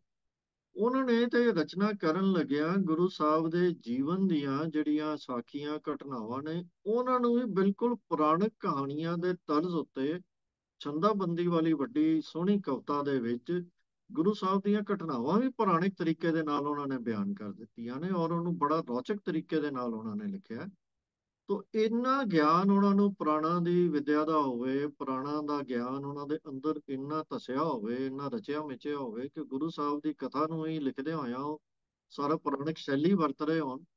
ਤੇ ਇਹਦੇ ਬਾਰੇ ਉਹਨਾਂ ਨੇ ਕੁਝ ਨਹੀਂ ਦੱਸਿਆ, ਖਾਸ ਕਰਕੇ ਜੇ ਇਹ ਧਿਆਨ ਰੱਖੀਏ ਕਿ ਪੁਰਾਣ ਤਾਂ ਲਿਖੇ ਹੀ ਸੰਸਕ੍ਰਿਤ ਦੇ ਵਿੱਚ ਹੋਏ ਆ। ਤੇ ਫਿਰ ਉਹਨਾਂ ਨੇ ਇਹ ਕਿਸ ਸਮੇਂ ਦੇ ਵਿੱਚ ਵਿਦਿਆ ਪ੍ਰਾਪਤ ਕੀਤੀ ਹੋਵੇਗੀ? ਫਿਰ ਅੱਗੇ ਹੋਰ ਜਿਹੜੀ ਗੱਲ ਸਾਡੇ ਸਾਹਮਣੇ ਉੱਪਰ ਕੇ ਉਹਨਾਂ ਦੀ ਆਉਂਦੀ ਹੈ, ਉਹ ਇਹ ਆਉਂਦੀ ਹੈ ਕਿ ਉਹਨਾਂ ਦੇ ਮਨ ਦੇ ਵਿੱਚ ਬ੍ਰਾਹਮਣਾਂ ਦੇ ਪ੍ਰਤੀ ਅਤਿਅੰਤ ਲੈਵਲ ਦਾ ਬਹੁਤ ਉੱਚਾ ਸਤਿਕਾਰ ਹੈ ਕਿ ਬਹੁਤ ਉੱਚਾ ਸਟੇਜ ਮਤਲਬ ਉਹਨਾਂ ਨੂੰ ਦਰਜਾ ਦਿੰਦੇ ਆ। ਹੁਣ ਪੂਰੀ ਰਚਨਾ ਦੇ ਵਿੱਚ ਉਹ ਬਾਰ-ਬਾਰ ਬਾਰ-ਬਾਰ ਬ੍ਰਾਹਮਣਾਂ ਨੂੰ ਉਹ ਉੱਚੇ ਦਰਜੇ ਤੇ ਸਥਾਪਿਤ ਕਰਨ ਦੀ ਪੂਰੀ ਕੋਸ਼ਿਸ਼ ਕਰਦੇ ਆ। ਔਰ ਅਕਸਰ ਦੋਵਾਂ ਦਾ ਜ਼ਿਕਰ ਗਊ ਤੇ ਬ੍ਰਾਹਮਣ ਦੋਵਾਂ ਦਾ ਜ਼ਿਕਰ ਇਕੱਠਿਆਂ ਕਰਦੇ ਹਨ। ਫਿਰ ਇਹ ਕਰਨ ਲੱਗਿਆ ਉਹ ਗੁਰੂ ਸਾਹਿਬ ਕੋਲੋਂ ਵੀ ਬ੍ਰਾਹਮਣਾਂ ਦੀ ਖਾਸ ਸੇਵਾ, ਖਾਸ ਇਨਵੀਟੇਸ਼ਨਸ ਖਾਸ ਦਾਨ ਵੱਡੇ ਵੱਡੇ ਦਾਨ ਕਰਦੇ ਗੁਰੂ ਸਾਹਿਬ ਨੂੰ ਦੱਸਦੇ ਹਨ। ਤੇ ਫਿਰ ਬ੍ਰਾਹਮਣਾਂ ਦਾ ਹੋਰ ਦਰਜਾ ਉੱਚਾ ਹੋ ਜਾਂਦਾ ਹੈ ਕਿ ਜਦੋਂ ਉਹਨਾਂ ਨੇ ਦੱਸਿਆ ਕਿ ਜਦੋਂ ਉਹਨਾਂ ਨੇ ਦੇਵੀ ਨੂੰ ਪ੍ਰਗਟ ਕਰਨ ਲਈ ਪੂਜਾ ਕੀਤੀ ਤੇ ਸਪੈਸ਼ਲ ਉਹਨਾਂ ਨੇ ਯਤਨ ਕਰਕੇ ਉਜੈਨ ਤੋਂ ਇੱਕ ਪ- ਪੰਡਿਤ ਜੀ ਨੂੰ, ਦਿਜ ਨੂੰ ਬੁਲਾਇਆ। ਤੇ ਉਹਨੇ ਫਿਰ ਪੂਜਾ ਕੀਤੀ ਤੇ ਬੜਾ ਲੰਬਾ ਸਮਾਂ ਪੂਜਾ ਚੱਲੀ ਤਾਂ ਇਹ ਸਾਰੀਆਂ ਗੱਲਾਂ ਸਾਨੂੰ ਸ਼ੋਅ ਕਰਦੀਆਂ ਨੇ ਕਿ ਕਵੀ ਜੀ ਦਾ ਬ੍ਰਾਹਮਣਾਂ ਦੇ ਪ੍ਰਤੀ ਕੁਝ ਖਾਸ ਹੀ ਲਗਾਓ ਹੈ, ਬਲਕਿ ਜੇ ਅਸੀਂ ਇਹ ਵੀ ਕਹਿ ਲਈਏ ਕਿ ਜਿਹੜੇ ਕਵੀ ਨੇ ਇਹ ਆਪਣੇ ਆਪ ਨੂੰ ਜੋ ਮਰਜ਼ੀ ਕਹਿ ਰਹੇ ਹੋਣ, ਇਹ ਨਿਸ਼ਚੈ ਹੀ ਖੁਦ ਵੀ ਬ੍ਰਾਹਮਣ ਹੋਣਗੇ, ਇਹ ਉਸੇ ਕੈਟਾਗਰੀ ਦੇ ਵਿੱਚੋਂ ਖੁਦ ਹੋਣੇ ਚਾਹੀਦੇ ਹਨ ਜਿੰਨਾ ਇਹਨਾਂ ਨੇ ਬਾਰ-ਬਾਰ ਇਸ ਚੀਜ਼ ਨੂੰ ਸਟ੍ਰੈਸ ਅਪਾਨ ਕੀਤਾ। ਡਾਕਟਰ ਗੁਰਸ਼ਰਨ ਕੌਰ ਜੱਗੀ ਨੇ ਵੀ ਆਪਣੀ ਭੂਮਿਕਾ ਦੇ ਵਿੱਚ ਇਹੀ ਲਿਖਿਆ ਕਿ ਅਸੀਂ ਕਹਿ ਸਕਦੇ ਹਾਂ ਕਿ ਇਹ ਜ਼ਰੂਰ ਆਪ ਵੀ ਬ੍ਰਾਹਮਣ ਹੀ ਹੋਵੇਗਾ ਕਵੀ ਜੋ ਇੰਨਾ ਜ਼ਿਆਦਾ ਇਹ ਬ੍ਰਾਹਮਣਾਂ ਦੀ ਉਸਤਤ ਕਰਦਾ ਤੇ ਉਹਨਾਂ ਨੂੰ ਸਥਾਪਿਤ ਕਰਨ ਦੀ ਸਿੱਖਾਂ ਦੇ ਮਨਾਂ ਦੇ ਵਿੱਚ ਕੋਸ਼ਿਸ਼ ਕਰ ਰਿਹਾ। ਫਿਰ ਅੱਗੇ ਹੋਰ ਵੀ ਜਿਹੜੀ ਸਾਨੂੰ ਚੀਜ਼ ਮਿਲਦੀ ਹੈ ਕਵੀ ਜੀ ਦੇ ਬਾਰੇ ਕਿ ਸਨਾਤਨੀ ਸਿਧਾਂਤਾਂ ਦਾ ਲੇਖਕ ਦੇ ਉੱਤੇ ਬਹੁਤ ਜ਼ਿਆਦਾ ਪ੍ਰਭਾਵ ਹੈ। ਵਿੱਚ ਵਿੱਚ ਬਾਰ-ਬਾਰ ਤਿਲਕ ਦਾ, ਜੰਜੂ ਦਾ ਗੁਰੂ ਸਾਹਿਬ ਨੂੰ ਬ੍ਰਹਮ ਦੇ ਅਵਤਾਰ ਸਿੱਧ ਕਰਨ ਦਾ ਯਤਨ, ਬੜੀਆਂ ਸਾਰੀਆਂ ਪਰਾ- ਕਰਾਮਾਤੀ ਘਟਨਾਵਾਂ ਗੁਰੂ ਸਾਹਿਬ ਦੇ ਕੋਲੋਂ ਬਿਲਕੁਲ ਇਸ ਤਰ੍ਹਾਂ ਉਹ ਹੁੰਦੀਆਂ ਦਿਖਾ ਦਿੰਦਾ ਹੈ, ਜਿਵੇਂ ਕਿ ਬਿਲਕੁਲ ਇੱਕ ਨਾਰਮਲ ਘਟਨਾਵਾਂ ਹੋਣ ਗੁਰੂ ਸਾਹਿਬ ਦੇ ਜੀਵਨ ਦੀਆਂ। ਤੇ ਫਿਰ ਉਹ ਪਾਤਰਾਂ ਨੂੰ, ਪਾਤਰਾਂ ਦੀ ਜਦੋਂ ਸਿਰਜਣਾ ਕਰਦਾ ਹੈ, ਕਿਸੇ ਪਾਤਰ ਦੇ ਬਾਰੇ ਸਾਨੂੰ ਦੱਸਦਾ ਹੈ, ਤਾਂ ਉਹਦੇ ਵਿੱਚ ਵੀ ਉਹ ਬਿਲਕੁਲ ਪੁਰਾਣਿਕ ਢੰਗ ਦੇ ਨਾਲ ਉਹਨਾਂ ਦੇ ਪਾਤਰਾਂ ਦੀ ਸਿਰਜਣਾ ਕਰਦਾ ਹੈ। ਤੇ ਕਈ ਥਾਵਾਂ ਦੇ ਉੱਤੇ ਤੇ ਕਈ ਪਾਤਰਾਂ ਨੂੰ ਤਾਂ ਉਹ ਪੁਰਾਣੇ ਪੌਰਾਣਿਕ ਪਾਤਰਾਂ ਦੇ ਨਾਲ ਹੀ ਸੰਬੰਧਿਤ ਕਰ ਦਿੰਦਾ ਹੈ ਕਿ ਇਹ ਫਲਾਣਾ ਪਾਤਰ ਕਿਸੇ ਪੁਰਾਣ ਦਾ, ਪੁਰਾਣੇ ਕਹਾਣੀ ਦਾ ਉਸ ਨੇ ਆ ਕੇ ਜਨਮ ਲਿਆ ਤੇ ਉਹਨੇ ਇਹ ਕੰਮ ਕੀਤਾ, ਗੁਰੂ ਸਾਹਿਬ ਦੀ ਸ਼ਰਨ ਵਿੱਚ ਆਇਆ, ਉਹਨਾਂ ਦੀ ਸੇਵਾ ਕੀਤੀ ਤੇ ਇਸ ਤਰ੍ਹਾਂ ਦੀਆਂ ਗੱਲਾਂ ਇਹਦੇ ਬਹੁਤ ਜ਼ਿਆਦਾ ਫ੍ਰੀਕੁਐਂਟਲੀ ਸਾਨੂੰ ਮਿਲਦੀਆਂ ਹਨ। ਤੋ ਇਸ ਤੋਂ ਅਸੀਂ ਇਹ ਅੰਦਾਜ਼ਾ ਲਗਾ ਸਕਦੇ ਹਾਂ ਕਿ ਉਹ ਭਾਵੇਂ ਆਪਣੇ ਆਪ ਨੂੰ ਇੱਕ ਸ਼ਰਧਾਵਾਨ ਸਿੱਖ ਦੇ ਤੌਰ ਦੇ ਉੱਤੇ ਹੀ ਪੇਸ਼ ਕਰ ਰਿਹਾ ਹੈ, ਜਿਹੜਾ ਸ਼ਰਧਾਵਾਸ ਆ ਕੇ ਇਹ ਲਿਖ ਰਿਹਾ ਹੈ। ਪਰ ਜਦੋਂ ਥੋੜਾ ਜਿਹਾ ਉਹਨੂੰ ਧਿਆਨ ਨਾਲ, ਗੌਰ ਨਾਲ ਦੇਖੀਏ ਤਾਂ ਉਹ ਇੱਕ ਬੜਾ ਨਿਸ਼ਠਾਵਾਨ ਜਾਂ ਕਮਿਟਡ ਸਨਾਤਨੀ ਵਿਚਾਰਾਂ ਵਾਲਾ ਹੁੰਦਾ, ਉਹਦਾ ਪਤਾ ਨਹੀਂ। ਤੇ ਅੱਗੇ ਮੈਂ ਜ਼ਿਕਰ ਥੋੜਾ ਜਿਹਾ ਹੋਰ ਕਰ ਚੁੱਕਾ ਕਿ ਉਹ ਦੇਵੀ ਦਾ ਵੀ ਪੱਕਾ ਸ਼ਰਧਾਲੂ ਹੈ। ਨਾ ਸਿਰਫ ਗੁਰੂ ਸਾਹਿਬ ਨੂੰ, ਗੁਰੂ ਸਾਹਿਬ ਨੂੰ ਵੀ ਦੇਵੀ ਦਾ ਪੱਕਾ ਸ਼ਰਧਾਲੂ ਤੇ ਸ਼- ਉਹਦੀ ਪੂਜਾ ਕਰਦਿਆਂ ਦਿਖਾਉਂਦਾ ਹੈ ਉਹ ਆਪ ਵੀ ਬੜੀਆਂ ਥਾਵਾਂ ਦੇ ਉੱਤੇ ਦੇਵੀ ਨੂੰ ਬਾਰ-ਬਾਰ ਬਾਰ-ਬਾਰ ਬੜੇ ਸ਼ਰਧਾ ਦੇ ਨਾਲ ਉਹਨਾਂ ਨੂੰ ਯਾਦ ਕਰਦਾ ਹੈ। ਅੱਗੇ ਚੱਲ ਕੇ ਅਸੀਂ ਥੋੜਾ ਜਿਹਾ ਇਹਦੇ ਬਾਰੇ ਉਹਦੀਆਂ ਰਚਨਾਵਾਂ ਦੇ ਵਿੱਚੋਂ ਕੁਝ ਤੁਹਾਨੂੰ ਪੜ੍ਹ ਕੇ ਵੀ ਸੁਣਾਵਾਂਗੇ ਕਿ ਉਹਦੇ ਮਨ ਦੇ ਵਿੱਚ ਦੇਵੀ ਦੇ ਵਾਸਤੇ ਕਿੰਨੀ ਕੁ ਸ਼ਰਧਾ ਹੈ।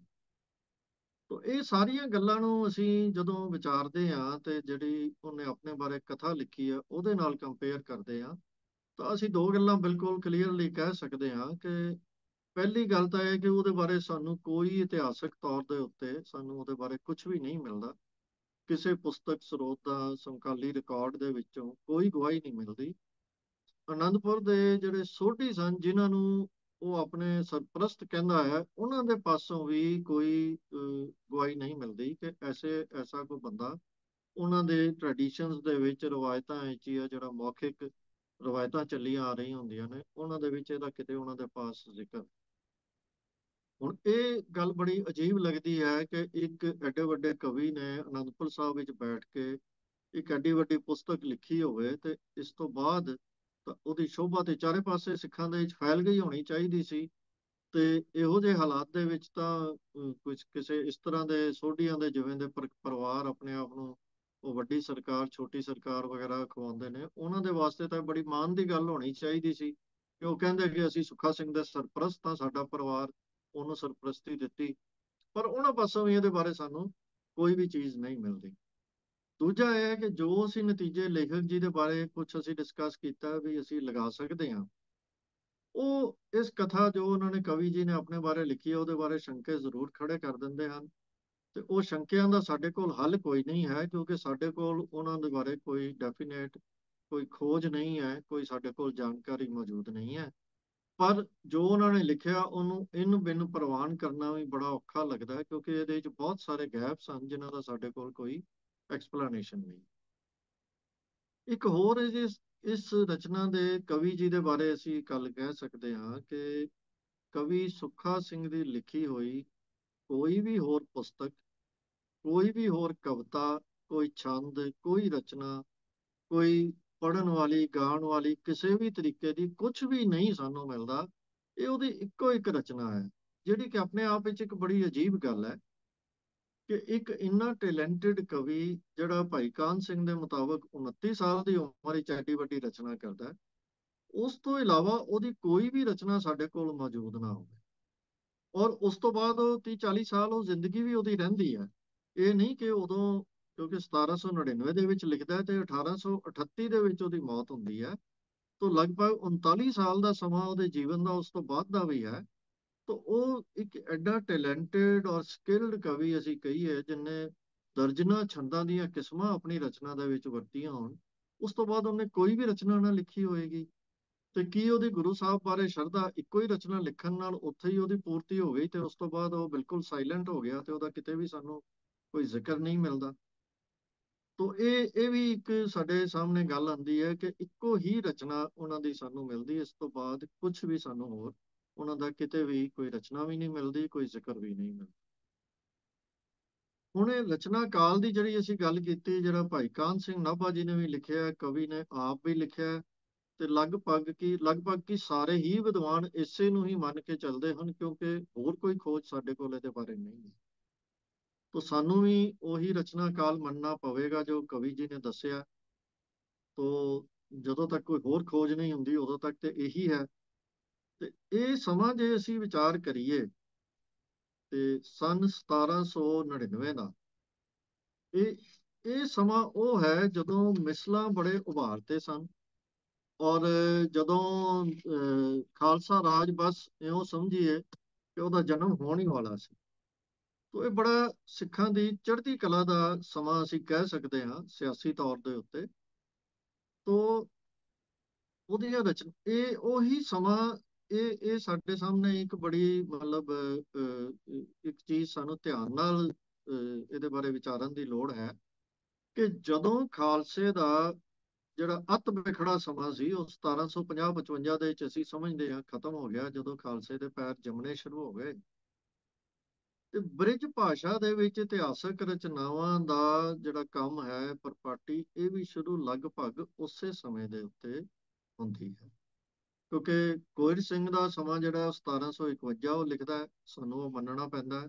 ਠੀਕ ਹੈ ਜਾਂ ਗਲਤ, ਪਰ ਇਹ ਵੀ ਉਸੇ ਸਮੇਂ 'ਚ ਆ ਜਾਂਦਾ ਹੈ। ਤੇ ਇਹ 1799 ਹੈ ਤੇ 6ਵੀਂ ਪਾਤਸ਼ਾਹੀ ਗੁਰਬਿਲਾਸ ਜਿਹੜਾ ਉਹ ਇਸ ਤੋਂ ਬਾਅਦ ਦਾ ਵਿਦਵਾਨ ਮੰਨਦੇ ਹਨ। ਹਾਲਾਂਕਿ ਲੇਖਕ ਨੇ ਤਾਂ ਉਸ ਤੋਂ ਬਹੁਤ ਤੋਂ ਪਹਿਲਾਂ ਦਾ ਸਮਾਂ ਦਿੱਤਾ ਹੋਇਆ। ਤੋ ਇਹ ਬ੍ਰਿਜ ਭਾਸ਼ਾ ਵਿੱਚ ਜਿਹੜੀਆਂ ਰਚਨਾਵਾਂ ਰਚੀਆਂ ਜਾਣੀਆਂ ਸ਼ੁਰੂ ਹੋਈਆਂ ਉਹ ਇਹ ਮਿਸਲਾਂ ਦੇ ਕਾਲ ਵਿੱਚ ਹੀ ਅਸੀਂ ਮੰਨ ਸਕਦੇ ਹਾਂ। ਜਦੋਂ ਸਿੱਖਾਂ ਦੇ ਹਾਲਾਤ ਕੁਝ ਸੌਖੇ ਹੋ ਗਏ ਕੁਝ ਰਾਜਸੀ ਤਾਕਤ ਹੱਥ ਦੇ ਵਿੱਚ ਆ- ਆਣੀ ਸ਼ੁਰੂ ਹੋ ਗਈ ਤੇ ਉਸ ਵੇਲੇ ਹੀ ਨਿਰਮਲਿਆਂ ਦਾ ਸਾਹਿਤ ਰਚਿਆ ਜਾਣਾ ਸ਼ੁਰੂ ਹੋਇਆ। ਜਿਹੜਾ ਅਤ ਵਿਖੜਾ ਟਾਈਮ ਸੀ ਉਹਦੇ ਵਿੱਚ ਨਿਰਮਲਿਆਂ ਦਾ ਅਹ, ਸਾਹਿਤ ਸਾਡੇ ਸਾਹਮਣੇ ਨਹੀਂ ਆਉਂਦਾ। ਨਿਰਮਲੇ ਜਿਹੜੇ ਆਪਣਾ ਇਤਿਹਾਸ ਦੱਸਦੇ ਹਨ ਉਹ ਦਸਮ ਪਾਤਸ਼ਾਹ ਨਾਲ ਜੋੜਦੇ ਹਨ ਕਿ ਦਸਮ ਪਾਤਸ਼ਾਹ ਨੇ ਪੰਜ ਸਿੱਖਾਂ ਨੂੰ ਅਹ, ਭੇਜਿਆ ਕਾਂਸ਼ੀ ਦੇ ਵਿੱਚ ਸੰਸਕ੍ਰਿਤ ਤੇ ਗ੍ਰੰਥਾਂ ਦੀ ਵਿਦਿਆ ਲੈਣ ਦੇ ਲਈ ਤੇ ਉਹਨਾਂ ਨੇ ਉੱਥੇ ਜਾ ਕੇ ਵਿਦਿਆ ਲਈ ਤੇ 5 ਸਾਲ ਜਾਂ ਕਿੰਨਾ ਸਮਾਂ ਦੱਸਦੇ ਹਨ ਉਸ ਤੋਂ ਬਾਅਦ ਪੰਜਾਬ ਵਿੱਚ ਆ ਕੇ ਉਹਨਾਂ ਨੇ ਵਾਪਸ ਗੁਰੂ ਦਰਬਾਰ ਦੇ ਵਿੱਚ ਹਾਜ਼ਰੀ ਭਰੀ। ਪਰ ਜਿੰਨੇ ਇਤਿਹਾਸਕਾਰਾਂ ਨੇ ਇਸ ਦੇ ਬਾਰੇ ਖੋਜਾਂ ਕੀਤੀਆਂ ਨੇ ਉਹ ਇਹੀ ਮੰਨਦੇ ਹਨ ਕਿ ਇਹ ਸਾਖੀ ਭਾਵੇਂ ਕੁਝ ਵੀ ਕਹਿੰਦੀ ਹੋਵੇ, ਨਿਰਮਲਿਆਂ ਦਾ ਸਿੱਖ ਇਤਿਹਾਸ ਵਿੱਚ ਜ਼ਿਕਰ ਜਿਹੜਾ ਹੈ 18ਵੀਂ ਸਦੀ ਦੇ ਦੂਜੇ ਅੱਧ ਤੋਂ ਹੀ ਸ਼ੁਰੂ ਹੁੰਦਾ ਹੈ, ਤੋਂ ਭਾਵ 1750 ਤੋਂ ਬਾਅਦ ਹੀ ਸ਼ੁਰੂ ਹੁੰਦਾ ਹੁਣ ਇਹੀ ਐਗਜ਼ੈਕਟਲੀ ਉਹ ਸਮਾਂ ਹੈ ਜਦੋਂ ਇਹ ਬ੍ਰਿਜ ਭਾਸ਼ਾ ਦੀਆਂ ਰਚਨਾਵਾਂ ਸਾਡੇ ਸਾਹਮਣੇ ਆਉਣੀਆਂ ਸ਼ੁਰੂ ਹੁੰਦੀਆਂ। ਉਸ ਤੋਂ ਪਹਿਲੇ ਨਿਰਮਲਿਆਂ ਦਾ ਜ਼ਿਕਰ ਇਤਿਹਾਸਕਾਰ ਮੰਨਦੇ ਹਨ ਕਿ ਸਾਨੂੰ ਕੋਈ ਸਿੱਖੀ ਦੇ ਕੋਈ ਵੱਡੇ ਜਾਂ ਇੰਪੋਰਟੈਂਟ ਪਾਰਟ ਦੇ ਤੌਰ ਦੇ ਉੱਤੇ ਕਿਸੇ ਥਾਂ ਤੇ ਸਾਨੂੰ ਨਹੀਂ ਮਿਲਦਾ। ਹੁਣ ਇਹ ਜਿਹੜੀਆਂ ਰਚਨਾਵਾਂ ਨੇ ਅਸੀਂ ਨਿਰਮਲਾ ਕਾਲ ਜਿਹੜਾ ਅਹ, ਸ਼ੁਰੂ ਹੋਇਆ ਉਹਦੇ ਨਾਲ ਹੀ ਸੰਬੰਧਿਤ ਕਰ ਸਕਦੇ ਹਾਂ। ਇਸ ਤੋਂ ਪਹਿਲਾਂ ਦਾ ਜੋ ਸਮਾਂ ਸੀ 1750 ਤੱਕ ਦਾ ਜਾਂ 1760 ਤੱਕ ਦਾ ਉਹਦੇ ਵਿੱਚ ਆਮ ਇਹ ਧਾਰਨਾ ਮੰਨੀ ਜਾਂਦੀ ਹੈ ਕਿ ਉਦੋਂ ਉਦਾਸੀਆਂ ਕੋਲ ਕੁਝ ਗੁਰਦੁਆਰਿਆਂ ਦਾ ਪ੍ਰਬੰਧ ਸੀ। ਕੁਝ ਥਾਵਾਂ ਤੇ ਹਕੂਮਤਾਂ ਦੇ ਨੇੜੇ ਹੋ ਕੇ ਬੇਦੀਆਂ ਤੇ ਸੋਢੀਆਂ ਨੇ ਆਪਣੇ ਕੋਲ ਇਹ ਪ੍ਰਬੰਧ ਰੱਖਿਆ। ਤੇ ਇਸ ਤਰ੍ਹਾਂ ਉਦਾਸੀਆਂ, ਬੇਦੀਆਂ ਤੇ ਸੋਢੀਆਂ ਇਹਨਾਂ ਦਾ ਮਿਲਿਆ ਜੁਲਿਆ ਪ੍ਰਬੰਧ ਸੀ। ਜਿਵੇਂ ਅਸੀਂ ਹੁਣੇ ਜ਼ਿਕਰ ਕੀਤਾ ਕਿ ਜਦੋਂ ਦਸਮ ਪਾਤਸ਼ਾਹ ਅਨੰਦਪੁਰ ਸਾਹਿਬ ਛੱਡ ਗਏ, ਤਾਂ ਬਾਬਾ ਸ- ਸੂਰਜਮਲ ਦੀ ਔਲਾਦ ਨੇ, ਅਹ, ਉੱਥੋਂ ਦੇ ਰਾਜੇ ਦੇ ਨਾਲ ਗੱਲ ਕੀਤੀ ਕਿਉਂਕਿ ਸ਼ਹਿਰ ਤਾਂ ਉਦੋਂ ਤਕਰੀਬਨ ਉੱਜੜ ਚੁੱਕਾ ਸੀ। ਗੁਰੂ ਸਾਹਿਬ ਦੇ ਜਾਣ ਤੋਂ ਬਾਅਦ ਉੱਥੇ ਸਿੱਖ ਵੀ ਨਹੀਂ ਸਨ ਤੇ ਨਾ ਹੀ ਕੋਈ ਹੋਰ ਉੱਥੇ ਕੋਈ ਰਹਿਣ ਨੂੰ ਤਿਆਰ ਹੋਏਗਾ, ਜੋ ਜਿਹੇ ਹਾਲਾਤ ਸਨ। ਤਾਂ ਉਹਨਾਂ ਨੇ ਆ ਕੇ ਇਸ ਸ਼ਹਿਰ ਦਾ ਜੋ ਅਹ, ਆਪਣਾ ਸਾਂਭ ਸੰਭਾਲ ਦਾ ਜ਼ਿੰਮਾ ਰਾਜਿਆਂ ਦੇ ਕੋਲੋਂ ਲੈ ਲਿਆ। ਇਹ ਪੈਸੇ ਦੇ ਕੇ ਲਿਆ ਖਰੀਦਿਆ ਜਾਂ ਵੈਸੇ ਹੀ ਉਹਨਾਂ ਦੇ ਚੰਗੇ ਸਬੰਧ ਸਨ ਇਹਦੇ ਬਾਰੇ ਤਾਂ ਖੋਜ ਦੀ ਲੋੜ ਹੈ। ਪਰ ਉਸ ਸਮੇਂ ਤੋਂ ਹੀ ਬਾਬਾ ਸੂਰਜਮਲ ਦੀ ਔਲਾਦ ਨੇ ਸਭ ਤੋਂ ਵੱਡਾ ਆਪਣਾ ਡੇਰਾ ਜਿਹੜਾ ਸੀ ਉਹ ਅਨੰਦਪੁਰ ਸਾਹਿਬ ਵਿਖੇ ਕਾਇਮ ਕਰ ਲਿਆ ਤੇ ਉਸੇ ਦਾ ਹੀ ਇਹ ਜ਼ਿਕਰ ਕਰਦਾ ਹੈ ਵੱਡੀ ਚੌਂਕੀ ਵਾਲਿਆਂ ਦੇ ਕੋਲ। ਇਹ ਆ ਕੇ ਕਹਿੰਦਾ ਕਿ ਮੈਂ ਉੱਥੇ ਰਿਹਾ। ਤੋ ਇਸ ਤਰ੍ਹਾਂ ਉਦਾਸੀਆਂ, ਬੇਦੀਆਂ, ਸੋਢੀਆਂ ਨੇ ਵੱਖੋ ਵੱਖ ਥਾਵਾਂ ਤੇ ਆਪਣੇ ਪ੍ਰਬੰਧ ਕੀਤੇ ਹੋਏ ਸਨ। ਖਾਲਸਾ ਜੰਗਾਂ ਜੁੱਦਾਂ ਦੇ ਵਿੱਚ ਰੁੱਝਾ ਹੋਇਆ ਸੀ ਤੇ ਨਿਰਮਲਾ ਕਾਲ ਜਦੋਂ ਸ਼ੁਰੂ ਹੁੰਦਾ ਹੈ ਤੇ ਇਹ ਉਦੋਂ ਸ਼ੁਰੂ ਹੁੰਦਾ ਜਦੋਂ ਖਾਲਸੇ ਦੀ ਚੜ੍ਹਤ ਸ਼ੁਰੂ ਹੁੰਦੀ ਹੈ ਤੇ ਉਸ ਸਮੇਂ ਦੇ ਵਿੱਚ ਨਿਰਮਲਿਆਂ ਨੇ ਗੁਰਦੁਆਰਿਆਂ ਦਾ ਪ੍ਰਬੰਧ ਜਿਹੜਾ ਉਹ ਵੀ ਸੰਭਾਲਣਾ ਸ਼ੁਰੂ ਕਰ ਦਿੱਤਾ। ਤੋ ਅਸੀਂ ਇਸ ਰਚਨਾ ਨੂੰ ਉਸੇ ਟਿਪੀਕਲ ਕਾਲ ਦਾ ਮੰਨ ਸਕਦੇ ਹਾਂ ਜਿਹਦੇ ਵਿੱਚ ਬ੍ਰਿਜ ਭਾਸ਼ਾ ਦੀਆਂ ਰਚਨਾਵਾਂ ਰਚੀਆਂ ਜਾਣੀਆਂ ਸ਼ੁਰੂ ਹੋਈਆਂ, ਜਿਹਦੇ ਵਿੱਚ ਨਿਰਮਲਿਆਂ ਦਾ ਪੰਜਾਬ ਦੇ ਵਿੱਚ ਉਦੈ ਹੋਇਆ ਤੇ ਗੁਰਦੁਆਰਿਆਂ ਦਾ ਪ੍ਰਬੰਧ ਉਹਨਾਂ ਨੇ ਸਾਂਭਣਾ ਸ਼ੁਰੂ ਕਰ ਲਿਆ। ਹੁਣ ਆਈਏ ਕਿ ਇਸ ਰਚਨਾ ਦੀਆਂ ਵਿਸ਼ੇਸ਼ਤਾਵਾਂ ਕੀ ਹਨ ਤੇ ਇਹਦੀ ਮਹੱਤਤਾ ਕੀ ਹੈ ਸਾਡੇ ਲਈ। ਤੋ ਇਹਨੂੰ ਅਸੀਂ ਇਸ ਤਰ੍ਹਾਂ ਦੇਖ ਸਕਦੇ ਹਾਂ, ਜਿਵੇਂ ਇਹ ਕੋਇਰ ਸਿੰਘ ਦੁਆਰਾ ਜੋ ਗੁਰਬਿਲਾਸ ਲਿਖਿਆ ਗਿਆ ਸੀ, ਉਹਦਾ ਇੱਕ ਸੁਧਰਿਆ ਹੋਇਆ ਰੂਪ ਹੈ, ਉਹਦਾ ਵਿਸਤ੍ਰਿਤ ਰੂਪ ਹੈ ਭਾਵੇਂ ਮੂਲ ਆਧਾਰ ਇਹਦਾ ਕੋਇਰ ਸਿੰਘ ਹੀ ਕਿਹਾ ਜਾਂਦਾ ਹੈ ਪਰ ਲੇਖਕ ਨੇ ਹੋਰ ਗ੍ਰੰਥਾਂ ਦੀ ਵੀ, ਜਿਵੇਂ ਮੈਂ ਪਹਿਲਾਂ ਤਿੰਨ ਚਾਰ ਗ੍ਰੰਥਾਂ ਦਾ ਜ਼ਿਕਰ ਕੀਤਾ ਉਹਨਾਂ ਦੀ ਮਦਦ ਇਹਨੇ ਜ਼ਰੂਰ ਲਈ ਹੈ ਸ੍ਰੀ ਗੁਰ ਸੋਭਾ ਦੀ ਤੇ ਹੋਰ ਗ੍ਰੰਥਾਂ ਦੀ ਉਹਨੇ ਮਦਦ ਲੈ ਕੇ ਤੇ ਇਹ ਕੁਝ ਇਹਨਾਂ ਗ੍ਰੰਥਾਂ ਦੀ ਮਦਦ ਨਾਲ ਤੇ ਕੁਝ ਉਸ ਗ੍ਰੰਥ ਨੂੰ ਵੀ ਇਹਨੇ ਜਿਹੜਾ ਕੋਇਰ ਸਿੰਘ ਵਾਲੀ ਰਚਨਾ, ਉਹਨੂੰ ਹੀ ਇਹਨੇ ਆਪਣੇ ਹਿਸਾਬ ਨਾਲ ਬੜਾ ਹੋਰ ਨਿਖਾਰ ਕੇ ਲਿਖਿਆ ਹੈ। ਇਹ ਇਹਦੀ ਕੋਇਰ ਸਿੰਘ ਦੀ ਰਚਨਾ ਦੇ ਉੱਪਰ ਜਿਹੜੀ ਪਲੱਸ ਚੀਜ਼ ਹੈ। ਤੋ ਉਸ ਤੋਂ ਬਾਅਦ ਦੂਜੀ ਜਿਹੜੀ ਇਹਦੀ ਖਾਸੀਅਤ ਹੈ ਕਿ ਕੋਇਰ ਸਿੰਘ ਦੀ ਰਚਨਾ ਦੇ ਵਿੱਚ ਬ੍ਰਿਜ ਭਾਸ਼ਾ ਬੜੀ ਔਖੀ ਹੈ। ਉਹਨੂੰ ਪੜ੍ਹਨ ਵਾਸਤੇ ਬਾਰ-ਬਾਰ ਉਹਦੇ ਵਰਡ ਮੀਨਿੰਗਸ ਦੀ ਰੈਫਰੈਂਸ ਦੇਣੀ ਪੈਂਦੀ ਹੈ। ਤੁਸੀਂ ਲਗਾਤਾਰ ਉਹਨੂੰ ਪੜ੍ਹਨਾ ਬੜਾ ਔਖਾ ਹੈ।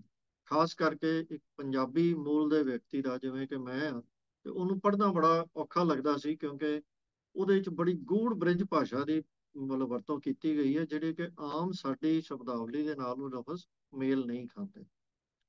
ਪਰ ਇਸ ਰਚਨਾ ਨੂੰ ਪੜ੍ਹਨ ਦਾ ਢੰਗ ਜਿਹੜਾ ਹੈਗਾ, ਉਹਦੇ 'ਚ ਇਹ ਖਾਸ ਚੀਜ਼ ਹੈ ਕਿ ਇਹਦੀ ਭਾਸ਼ਾ ਉਸ ਤੋਂ ਬੜੀ ਸੌਖੀ ਹੈ। ਹੈ ਬ੍ਰਿਜ ਭਾਸ਼ਾ ਹੀ, ਪਰ ਇਹ ਉਨੀ ਵਿਦਵਤਾ ਦੀ ਜਾਂ ਉਨੀ ਬਾਰ-ਬਾਰ ਰੈਫਰੈਂਸਸ ਦੇਖਣ ਦੀ, ਸ਼ਬਦ ਅਰਥ ਦੇਖਣ ਦੀ ਮੰਗ ਨਹੀਂ ਕਰਦੀ। ਲੱਗਦਾ ਹੈ ਕਿ ਕੋਇਤ ਸਿੰਘ ਦੇ ਗ੍ਰੰਥ ਦੀ ਇਸੇ ਕਮੀ ਨੂੰ ਦੂਰ ਕਰਨ ਵਾਸਤੇ ਹੀ ਇਹ ਰਚਨਾ ਜਿਹੜੀ ਹੈ ਸ਼ਾਇਦ ਲਿਖੀ ਗਈ ਸੀ। ਕਿਉਂਕਿ ਉਹ ਲਿਖੇ ਜਾਣ ਤੋਂ ਬਾਅਦ ਸ਼ਾਇਦ ਕੁਝ ਵਿਦਵਾਨ ਵਿਅਕਤੀਆਂ ਨੇ ਇਹ ਸਮਝਿਆ ਹੋਣਾ ਹੈ ਕਿ ਇਹ ਜਿਹੜੀ ਰਚਨਾ ਹੈ ਇਹ ਜ਼ਿਆਦਾ ਅਹ, ਪ੍ਰਵਾਨ ਨਹੀਂ ਚੜ ਸਕਦੀ ਕਿਉਂਕਿ ਇਹਦੀ ਭਾਸ਼ਾ ਹੀ ਇੰਨੀ ਜ਼ਿਆਦਾ ਔਖੀ ਹੈ ਕਿ ਆਮ ਪੰਜਾਬ ਦੇ ਲੋਕ ਇਹਨੂੰ ਪੜ੍ਹ ਸਮਝ ਵੀ ਨਹੀਂ ਸਕਦੇ। ਤੇ ਉਹਦੀ ਥਾਂ ਦੇ ਉੱਤੇ ਫਿਰ ਇਹਨੂੰ ਇੱਕ ਸੁਧਰੇ ਹੋਏ ਰੂਪ ਦੇ ਵਿੱਚ ਇਹਨੂੰ ਉਹਨਾਂ ਨੇ ਲਿਖਣ ਦਾ ਯਤਨ ਕੀਤਾ ਔਰ ਇਸ ਕੰਮ ਦੇ ਵਿੱਚ ਲੇਖਕ ਬੜੀ ਚੰਗੀ ਤਰ੍ਹਾਂ ਸਫਲ ਵੀ ਹੋਏ। ਇਹਦੇ 'ਚ ਕੋਈ ਸ਼ੱਕ ਨਹੀਂ। ਔਰ ਸ਼ਾਇਦ ਇਹੀ ਗੱਲ ਹੈ ਕਿ ਇਹਦੀ ਭਾਸ਼ਾ ਥੋੜੀ ਜਿਹੀ ਸੌਖੀ ਹੋਣ ਕਰਕੇ ਇਹਦੀ ਕਥਾ ਗੁਰਦੁਆਰਿਆਂ ਦੇ ਵਿੱਚ ਹੋਣੀ ਸ਼ੁਰੂ ਹੋਈ ਹੋਵੇਗੀ।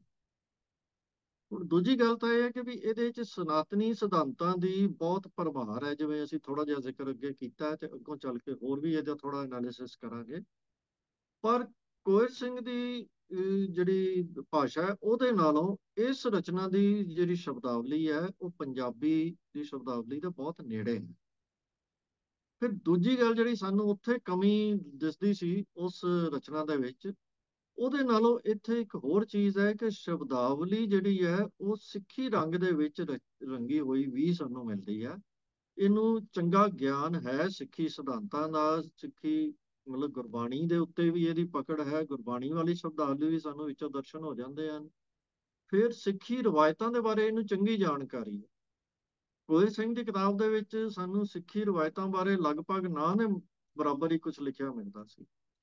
ਪਰ ਇਹਦੇ ਵਿੱਚ ਬਹੁਤ ਕੁਝ ਉਹਨੇ ਸਿੱਖੀ ਰਹਿਤ ਬਾਰੇ ਲਿਖਿਆ, ਸਿੱਖੀ ਕਦਰਾਂ ਕੀਮਤਾਂ ਬਾਰੇ ਲਿਖਿਆ, ਨਿਤ ਦੀ ਕਰਨੀ ਸਿੱਖ ਦੀ ਕੀ ਹੁੰਦੀ ਹੈ, ਕੁਰਾਇਤਾਂ ਕੀ ਹਨ, ਕਿਹਨਾਂ ਨਾਲ ਨਹੀਂ ਵਰਤਣਾ ਵਰਜਿਤ ਜਿਹੜੇ ਹਨ ਮੀਣੇ ਮਸੰਦ ਤੇ ਉਹ ਜਿਹੜੇ ਪੰਜ ਮੇਲ ਹਨ, ਉਹਨਾਂ ਨਾਲ ਵਰਤਣਾ ਨਹੀਂ, ਉਹਦੇ ਬਾਰੇ ਲਿਖਿਆ ਸਿੱਖ ਆਪਣੇ ਦਿਨ ਕਿਸ ਤਰ੍ਹਾਂ ਮਨਾਉਂਦੇ ਹਨ? ਸ਼ਬਦ ਕੀਰਤਨ ਰਾਹੀਂ ਜਾਂ ਕਿਸ ਤਰ੍ਹਾਂ?